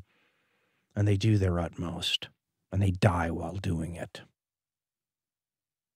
Author Nathan Miller, in his book War at Sea A Naval History of World War II, writes about the American planes finding the Japanese and beginning to lay into them and writes, quote, the two forces collided about 90 miles from the American carriers. Pushing the charging handles of their 650 caliber guns and checking their sights, the Hellcat, the American, the Hellcat pilots nosed down from 25,000 feet on the 69 Japanese planes spread out below them. Let me stop here. That's just one wave of the Japanese attack. And Miller continues, quote, Commander Charles W. Brewer reported that his initial burst of gunfire literally ripped a Zero to pieces. Before the debris had hit the sea, Brewer was already on the tail of another fighter. He accounted for two more Zeros during the brief battle. Japanese planes were, quote, end quote, falling like leaves, said one pilot, and those that escaped got only as far as the line of battleships protecting the carriers before they were shot down by anti aircraft guns, firing shells with VT fuses. Those are the radar fuses. Some cartwheeled along the surface of the sea in flaming arcs and exploded in black geysers of smoke and seawater. The only hit was on the South Dakota, which lost 27 men without a reduction in her fighting capacity. In all, 42 Japanese planes were shot down by the Hellcats and the surface ship screen. No enemy aircraft reached the carriers, and only one American plane was lost. End quote. That was an example of what happened to one wave of the Japanese attacks, but all the subsequent waves went the same way. One American pilot said for 35 miles he could see burning wreckage, leaking oil, and on fire in the sea where all these Japanese planes kept falling into the water. When the final numbers are tallied, it is one of the most one sided naval battles in all history. The Taiho, which had been struck by that one torpedo, eventually blew up when the fumes from fuel lines spread to the whole ship and ignited several hours after the torpedo hit. The Shokaku that was hit by other torpedoes turned over and sank. The next day, the Americans managed to find a light carrier, the Hiyo, and they sink that. The only real drama on the American side happens when American planes try to get back to their aircraft carriers. They had been launched desperately and with an understanding that the Japanese were too far away for them to hit and get back to their carriers. So they limp back almost out of gas and the American admiral does something that they did in an earlier battle as well, and it's a, it's one of those moments that's an inspiring one because with all the submarines and all the apparent Japanese aircraft that may still be out there and dangerous, you want to run dark when the when the sun goes down. You don't want to be visible. But with American planes trying to find you and desperately land, the American admiral decides to light them up like a Hollywood premiere, as one of the American pilots said. They turn on all the lights, then they turn on the landing lights, then they turn the searchlights on and point them straight up in the air. And even though a lot of American pilots ditch into the sea, they're quickly rescued, and the final casualty totals, according to Ernest and Trevor Dupuy in the Encyclopedia of Military History, are quote, The Great Marianas Turkey Shoot, as it's called, cost Admiral Ozawa 346 planes, and two big fleet carriers, and of course one light carrier. U.S. losses, they write, were but 30 planes and some slight damage to a battleship from a single Japanese bomb which found its target. That is a crushing defeat for a Japan that needed a decisive battle, but not a decisive battle that they lost. What's more, when it's over, the fighting on Saipan is still just getting started. And if Saipan falls, remember, all of a sudden Japan and its homeland are within range of America's brand new super heavy B 29 Superfortress bombers. The B 29 Superfortress, by the way, is a fearsome weapon. It is a preview of what Cold War bombers will look like, and it is a quantum leap from where bomber technology was a mere five years before this time when the Second World War began. And the Japanese don't have to try to imagine what it might be like to have their cities come under attack by this weapon because they need only look at their Axis partner, Germany, and see German cities being converted from full fledged functioning cities into rubble nightly and daily by Allied bombing attacks by bomber planes which are nowhere near as sophisticated as the B 29. And when U.S. Army Air Corps personnel begin launching B 29 bomber attacks from southern China which are just able to hit the Japanese mainland. They can't hit most of the islands, they can't hit Tokyo, but it's a warning that as they inch closer, and as the airfields get closer to Japan, and as the range of these bombers increases, it's only a matter of time. And it, in April 1944, I think it's April, the uh, Japanese will launch their largest offensive of the entire war. And it is little known in the West, which I've always found interesting, but I didn't know about it till about 35 years ago. It's called Operation Ichigo. Half a million Japanese soldiers, more than 100,000 horses, something like 15,000 vehicles. And we've already explained the Japanese uh, lack of resources and they can hardly get their fleet enough fuel to even move. So, something like this is a major endeavor. So, one would think, well, this must be for you know high stakes right if the japanese win here at this operation ichigo against the chinese you know should be decisive Unfortunately and tragically, if you're looking at this from the Japanese point of view, it's not. I mean, they're really trying to create a land bridge between two areas they control, and they're trying to overrun these American air bases so that the B 29s can't hit them from China. By the time it's over, the Japanese lose another 100,000 of their soldiers. They inflict something like north of 300,000 more casualties on the Chinese for little decisive gain. This is becoming a pattern in 1944 where the apocalyptic side of this war from the Japanese perspective just picks up steam. I mean, in the same time period, the Japanese launch another attack in the Burma India theater, which ends up going nowhere and costs them another 72,000 dead. The fighting in New Guinea has never stopped. In fact, uh, the Japanese are still inflicting casualties on Americans and Australians there.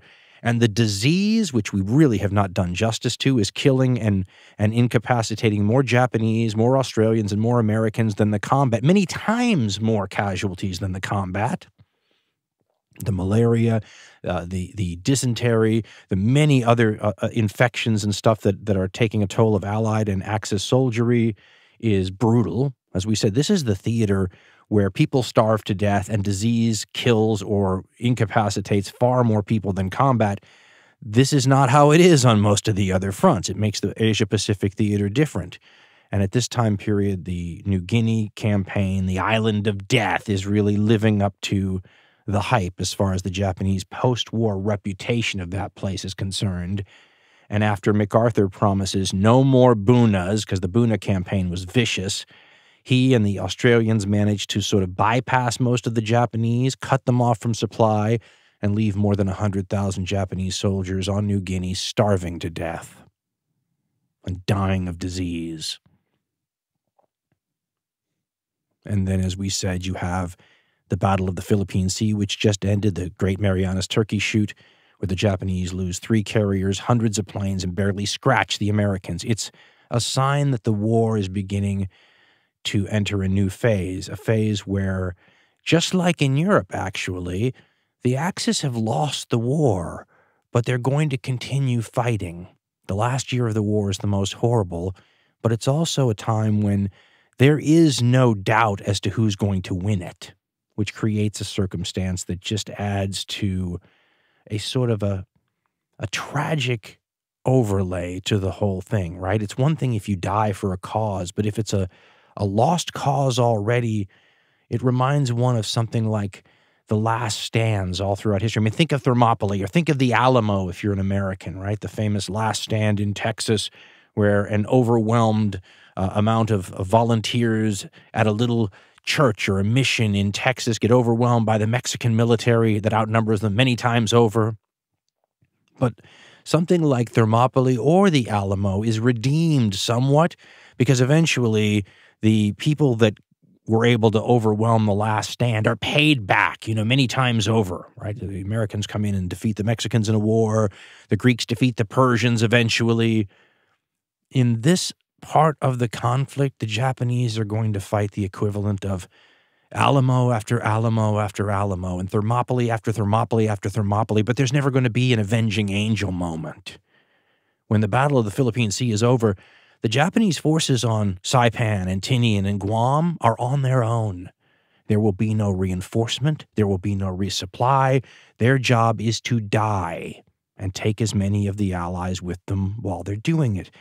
Now, we should remember that this was always part of the plan, right? As strange as it sounds that this should be the plan, but the Japanese were going to have these island outposts, and then they were going to make the Allies take them back. And the assumption was the Japanese would be willing to take more pounding than the Allies would take, you know, inflicting the pounding. That's already been put to the test on a number of these places New Guinea, the Solomons, Tarawa, the Gilberts, the Marshalls. But Saipan begins a different segment of this war. Because on Saipan are a bunch of Japanese civilians. As you get closer to Japan, you start running into women and children. And this complicates matters greatly and, and adds a whole different sort of problem for the Americans and the Australians as they try to deal with these places. Because what do you do with civilians that get caught in the crossfire? What's more, what do you do with civilians that get caught in the crossfire who are thoroughly indoctrinated by Japanese propaganda to believe, for example, that people like the Marines are going to rape and murder them. One of the pieces of propaganda said that a Marine could not become a Marine until they killed a close family member. I mean, if this is what you really believe, you have a bunch of civilians that are almost as fanatical sometimes as the soldiers. And you see this play out tragically on Saipan and on Guam, Saipan most of all, though, and what happens on that island so shocks the American high command that they begin to make calculations that if this is what it's like on an outer Japanese island, what will it be like if we actually have to invade the Japanese home islands? Are all the civilians going to be like this? After the Battle of the Philippine Sea, we'd said that the Marines had landed in force on Saipan. They have misjudged the number of Japanese defenders on the island. There's 32,000 of them, which is about twice as many as the Americans thought. This forces the Americans to bring in an army unit that they'd brought in reserve. They land the 27th Division, and then the Marines in the 27th Division begin advancing up, up the island of Saipan, which is about 12 or 15 miles long. Guam is the big one in the Marianas, it's like 30 miles long. And when these units advance up the island of Saipan, you see the American inter service rivalry reach the boiling point and boil over. The Japanese, of course, have the most famous inter service rivalry of any of the major powers. Their army and navy almost hate each other sometimes. I mean, it, it, gets into open warfare practically. Uh, the Americans, though, not immune. But at this point, when the Marines are relying on the army and then decide that the army is unreliable, all hell breaks loose. Something that becomes a big enough problem to go all the way up to the American High Command back in Washington, D.C. It breaks out into open discussion in the American media, with some newspaper outlets siding with the Marines, other newspaper outlets siding with, siding with the Army. And what happened is this the Marine forces on Saipan uh, were on both sides of the Army unit. The Army was the center, and the Army was connecting the two Marine divisions. When everybody advanced, the Army units were slower in the advance. And what that meant was the Marines were able to move farther ahead of the Army, which imperiled their flanks, and the Japanese infiltrators could attack them. Both the Marine commander on Saipan and the U.S. Army commander on Saipan were both named Smith. The Marine commander was a guy named Howlin' Mad Smith, was his nickname, and he proved that he would live up to it when he started berating the commander of the U.S. Army forces for being insufficiently aggressive. And then he went to his own admiral and demanded that he be fired, this other Army commander. And then the admiral fired him. And all hell breaks loose when that happens. The Army, not happy with that, as you might imagine, uh, getting in each other's faces. I mean, it's really quite astounding. Many of the commentators I was reading would either take the Marine side or the Army side. Uh, but plenty of them said that a lot of this disagreement stemmed from a very different idea of tactics and doctrine. The Marines traveled lightly, advanced quickly, were willing to suck up more casualties in the hopes that by ending a campaign sooner, the overall casualties would be lessened. The army was much more deliberate. They preferred to wait for things like artillery support. They would they would hunker down, you know, at night and sometimes retreat to a better perimeter. They were trying to save lives, right? Use maneuver, use technology, use air and, and artillery to lessen the amount of casualties. But what this meant was the 27th Division connecting the two Marine divisions was not moving as quickly, and this was upsetting the Marines. The fighting on Saipan was also um, you know, it's becoming a cliche to call it deadly, but all these islands have different threats, as we've been saying all along. On Saipan, it's caves. The island is riddled with them, and Japanese soldiers will hide in these caves. And if the caves are not dealt with, they will come out after the Americans move past them and attack them in the flank and rear, snipers, and all those kinds of things. The problem that the Allies and the Americans find out, though, is that these caves sometimes have civilians in them, and the, the, civilians tend to be in the places where you least expect them. And this makes matters more complicated and tragic. Army Sergeant John Sider is quoted in Matthew A. Rozell's book, The Things Our Fathers Saw, and describes one of these caves that they come across. And the Americans had Japanese Americans with them who they would often use as translators to communicate with the Japanese soldiers and would say, hey, you know, come out of the caves. And that's the story Sergeant John Sider relates. He says, quote, We had this cave, and we had two Japanese Americans, guys from the Hawaiian Islands. They didn't carry guns or anything, but they were smart. They walked right into the cave and talked to the Japanese soldiers. They weren't going to give up. Our two came out and told us, and then they went back in and told them they had five minutes before we were going to shell them. Then they went back in and told them they had three minutes. All of a sudden, we heard the screaming of women and children. We told them to let the civilians out. The Japanese wouldn't let them out. That was their protection. So it came down to dot, dot, dot. They blew the cave up. How many people were killed, we don't know, but that cave was closed. They exploded it with dynamite. End quote.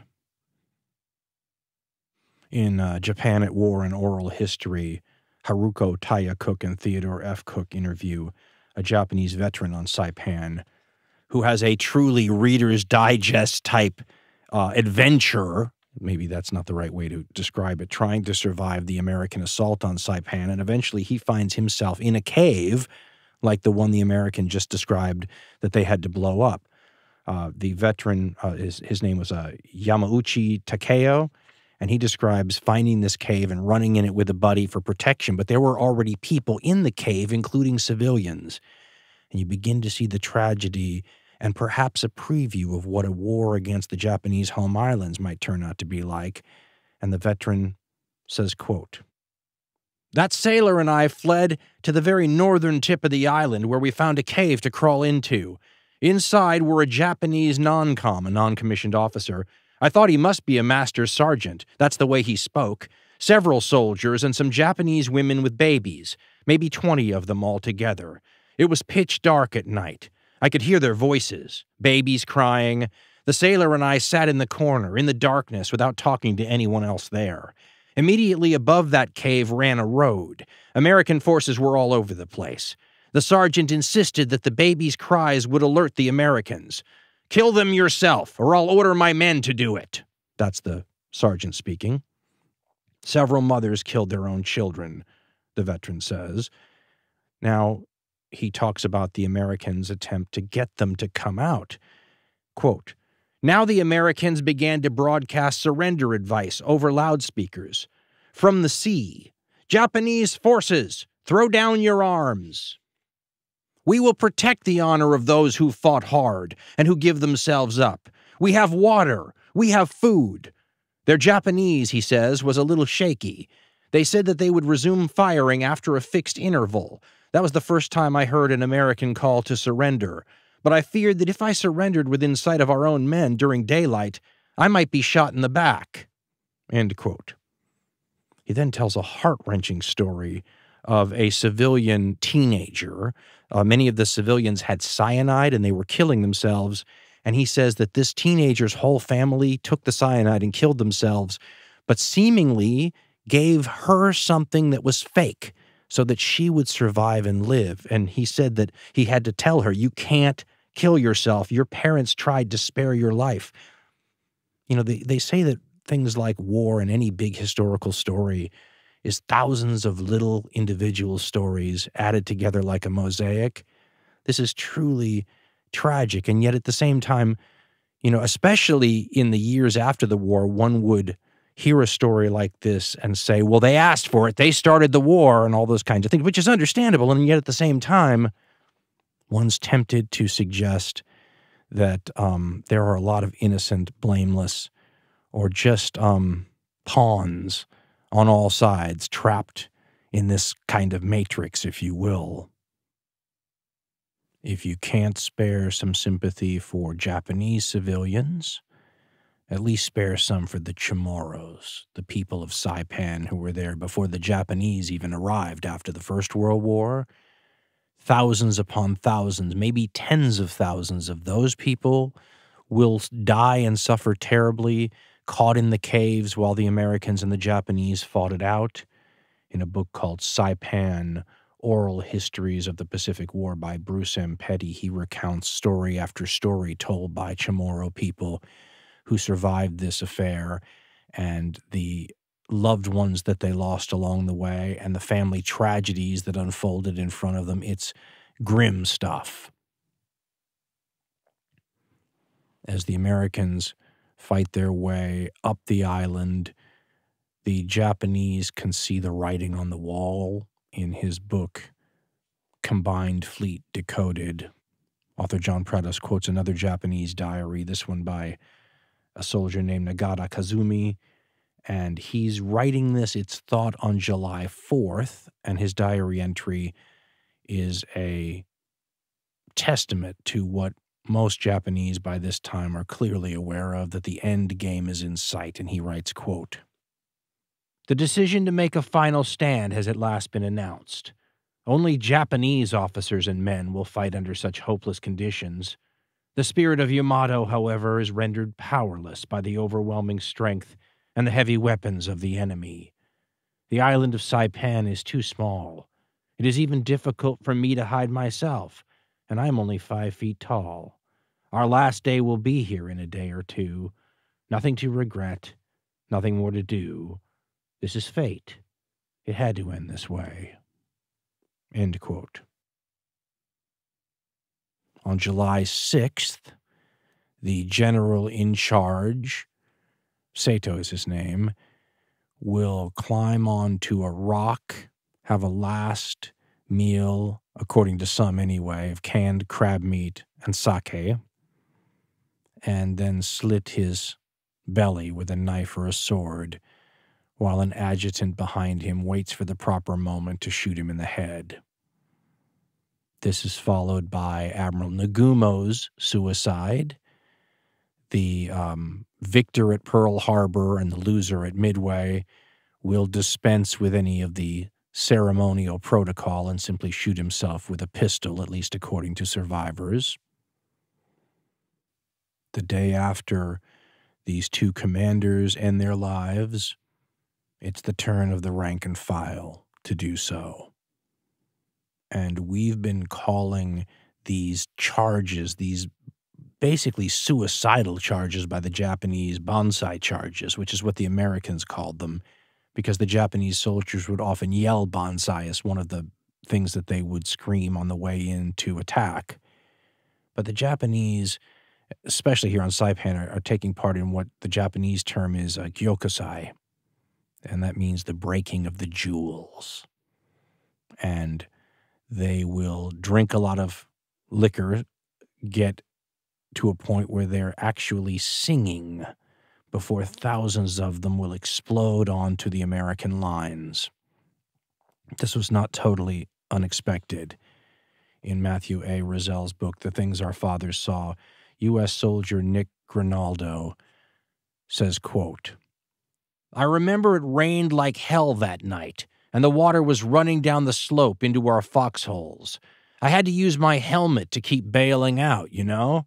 The night before the bonsai, I woke up that morning, and oh, Jesus Christ, they, the Japanese, got above us, and they were giving us plunging fire, shooting right down into the foxholes because they were high enough to look down.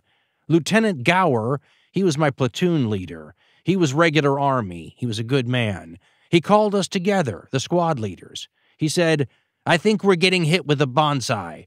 We're going to have to pull back.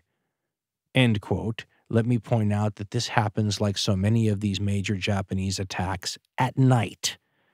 Grinaldo continues, quote, Holy Jesus, there was howling and screaming. They had naked women with spears, stark naked. They took bayonets and strapped them on the end of a pole, and they came screaming at us, figuring, hey, the good hearted Americans aren't going to shoot a woman, you know? Horseshit. There were so many of them, like cockroaches coming out of the woodwork. We had to pull back. End quote. I have a book on Saipan, and it spends something like 30 or 40 pages covering this event with three to 4,000 Japanese fighters swarming over the American front lines, forcing the Americans to pull back. There are plenty of accounts of Japanese sword wielding soldiers who are hacking to death wounded Americans who can't get away, chopping off heads. It's, it's medieval at times, but it's also doomed. In his book, The Nobility of Failure Tragic Heroes in the History of Japan, author Ivan Morris describes this specific incident and puts it in the larger context of the Japanese suicidal attacks, the bonsai charges, the uh, gyokusais, and he says, quote, it was not only pilots or even military men who responded with suicidal desperation to the agonizing course of events. In battle after battle, from the Aleutians to Guadalcanal, Japanese soldiers avoided surrender by participating in fierce suicide attacks, which the Americans described as bonsai charges. Probably the most fearsome scenes of all took place on the island of Saipan in July 1944. When organized military resistance became impossible, some 3,000 Japanese soldiers, most of them armed with nothing but bayonets or sticks, charged into the concentrated machine gun fire of the American Marines and were mown down to the last man. At times, the Japanese corpses were piled so high that the Marines had to move their machine gun emplacements into an open line of fire as new waves surged forward. A particularly macabre note was provided by a contingent of wounded soldiers, many of them swathed in bandages and leaning on the shoulders of their comrades who staggered out of the hospitals and infirmaries to take part in the last suicide attack. Subsequently, he writes, entire units of Japanese soldiers knelt down in rows to be decapitated by their commanding officers, who then in turn committed harakiri. Hundreds of other soldiers shot themselves through the head, or more frequently, exploded themselves with hand grenades. As the Marines advanced through the blood drenched island, they witnessed one mass suicide after another. It was Army units that were initially struck by this charge, but after they were overrun and forced to pull back, the Japanese reached artillery units behind them that were composed of Marines. And when they were finally stopped, there were people like typists and cooks and people like that who'd been armed hastily and picked up weapons to try to beat off this terrible attack. And when it was over, the field was littered with Japanese dead. More than 4,300 bodies were counted. Of the American casualties, it was in excess of 900 killed and wounded, and a ton of medals given out, including multiple medals of honor, most of them posthumously. It was the worst Japanese bonsai attack, or gyokusai if you prefer, of the war. The desperation is clear for all to see. After the Bonsai charge, the Americans continued to move up the island, compressing the Japanese into the northern tip of the island, where there is a more than 800 foot tall cliff with jagged rocks and the sea below and that's where the final tragedy of Saipan occurs, right in front of America's watching eyes as the soldiers saw it all unfold. And it was filmed. You can go see the tragic footage of this, where Americans slack jawed watched the civilians, the Japanese civilians, but also natives from the island, begin to commit mass suicide. Again from Island Fighting. Quote, Saipan was declared secure on July 9th, but the final horror came after the fighting was over. At the northern tip of the island lay Marpi Point, hope I pronounced that correctly, a plateau some 833 feet above a shore of jagged coral rocks. And there, hundreds of Japanese civilians joined the few remaining troops in an orgy of self destruction. Despite loudspeaker assurances that the victors would treat captives well, Parents threw their children off the cliffs and jumped after them. Whole families waded and swam out to sea to drown themselves. One group of a hundred Japanese bowed to Marines watching from a cliff. Then they stripped, bathed, donned fresh clothing, and spread a Japanese flag on a rock.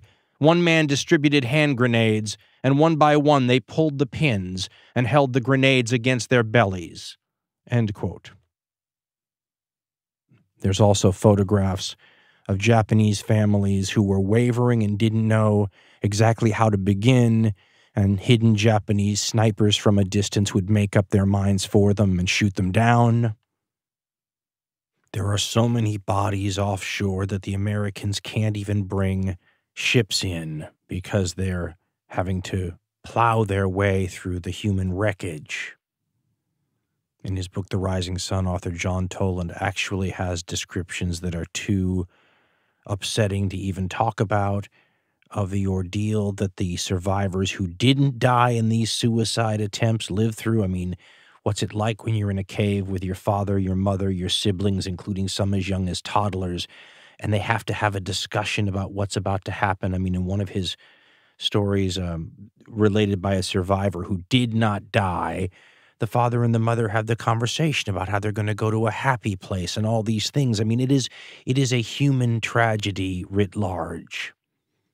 And it's clear from all the accounts that it melts the hearts of even the adversaries here. We've been calling this a race war, a war of annihilation, a war of hatred.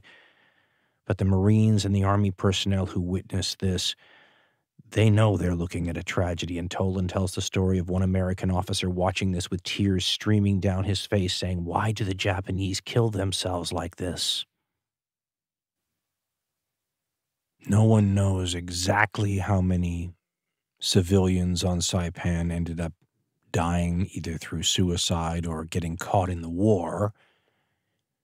Casualty figures for the entire Pacific campaign can be um, wildly different from one source to another. Part of the reason why is so many people disappeared, caves get blown up with people inside, Japanese soldiers turn up years later. Um, suicides happen in remote places, and the jungle tends to conceal a lot but I've seen civilian death totals between 20 and 25,000 people, Japanese and Chamorro. Those are devastating casualties for an island this size, right? 12, 15 miles long, 20 to 25,000 dead civilians. It's it's a nightmare scenario as the war goes on and you're going to run into more and more populated islands every step of the way towards the Japanese homeland. As far as Japanese casualties, those vary too. On Saipan, between 27 and 29,000 Japanese dead are usually the numbers you see. American dead and missing, well, Saipan's about um, 3,500, a little bit more than 3,500, maybe American dead, a couple hundred missing, between 13 and 16,000 wounded. Remember that the uh, invasion of Tinian happens right at the same time, and the invasion of Guam happens right afterwards. Uh, Guam is another tough fight, but on Tinian, it's about 320 Americans who die, but it's like 5,500 Japanese. And you start to see how much the kill ratio is turning against the Japanese in a way that you rarely see in modern war. Uh, 10 to 1 ratios becoming pretty common. And on Guam, the Japanese lose, and I've seen anywhere from, again, wildly different figures in the Encyclopedia of Military History. It says 10,000 men, but many sources will say the Japanese lost more than 18,000 men on Guam. The Americans lose about 3,000 dead and about 7,000 wounded. The entire operation, Operation Forager, if you total it up, the Japanese lose about 67,000 men out of 71,000 originally. These numbers represent almost total destruction of Japanese forces. You don't see this anywhere else. It's a sign of how committed they are to the cause and how unlikely it is that you can break their morale and get them to surrender. It's going to be a fight to the death. And after Saipan and Guam and Tinian are through, the Japanese know that, at least the more insightful amongst their leadership, that the war is decided, but it's not over yet. One of the naval chiefs of staff says after Saipan falls that hell is about to descend upon us. They know that the B 29s are coming and before the islands are even free of Japanese defenders, Navy engineers, the Seabees, come in and start building the airfields that the B 29s will use to attack the Japanese homeland. On July 18th, the military leader Tojo resigns. He's forced to by the emperor and the other elements in the government. Two days later, a bomb goes off in the German Empire. Is that a good way to call it? The Nazi state. And officers under Adolf Hitler had tried to blow him up in the July 20th plot. So by July 20th, Hitler's wounded in the bombing attack. Mussolini, as we said, is already a shadow of his former self and falling. Tojo's gone now. So of the big three, only Hitler's left. The successors to Tojo in Japan begin to try to figure out a way to cobble some sort of peace together so the worst can be avoided. But they have a lot of headwinds working against them, including the emperor himself, who uh, in Herbert P. Bix's Hirohito suggests that he's going to die fighting. And Japan begins to prepare for this sort of last ditch stand on the home islands that will make use of every man, woman, and child. And Bix writes, quote, On August 4th, the new cabinet decided to arm virtually the entire nation and have all subjects begin military training with bamboo spears in workplaces and schools throughout the country. Hirohito, the emperor, formally confirmed the new preparations for defense against the forthcoming enemy offensives at his imperial conference two weeks later. Emphasis was to be placed on air defense, fighting the enemy in the interior rather than at the water's edge, and the rapid development of, quote, sure victory weapons, end quote, which meant the large scale production of so called body smashing or special attack weapons designed to, quote, end quote, exchange the life of the crew or the pilot for a specific military achievement, end quote. Suicide weapons. That's where we are by this time in the war. We have been saying all through this series that the Japanese are like everyone else, only more so. Well, in June 1940, when Winston Churchill was afraid that the Germans were about to invade another island nation, just like Japan, but in this case Britain, he gave a famous speech. A speech that, well, might have been written by the Japanese emperor himself. He said, quote, We shall defend our island whatever the cost may be. We shall fight on the beaches. We shall fight on the landing grounds. We shall fight in the fields and in the streets. We shall fight in the hills. We shall never surrender. He also had quipped, Remember, you can always take one with you, meaning every Briton civilian could take a German soldier with them, and that would eat up the whole German army because there were so many civilians. Well, it sounds like the Japanese we're taking an inspiration from Churchill's playbook here because in this final year of the war, that's their plan. And civilians are training with bamboo spears to make it a reality.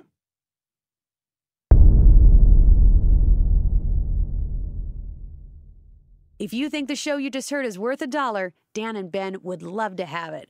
A buck a show. It's all we ask. Go to dancarlin.com for information on how to donate to the show. Wrath of the Khans, Punic Nightmares, Apache Tears, and of course, Ghosts of the Ostfront. Just a few of the classic hardcore history titles available from dancarlin.com. Every true fan has heard these favorites. Hey, they make great gifts too.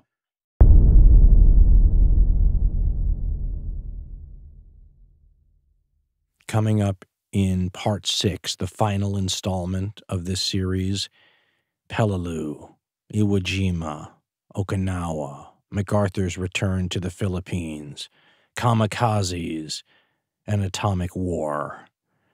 An Armageddon of the sort that has rarely been seen in modern warfare.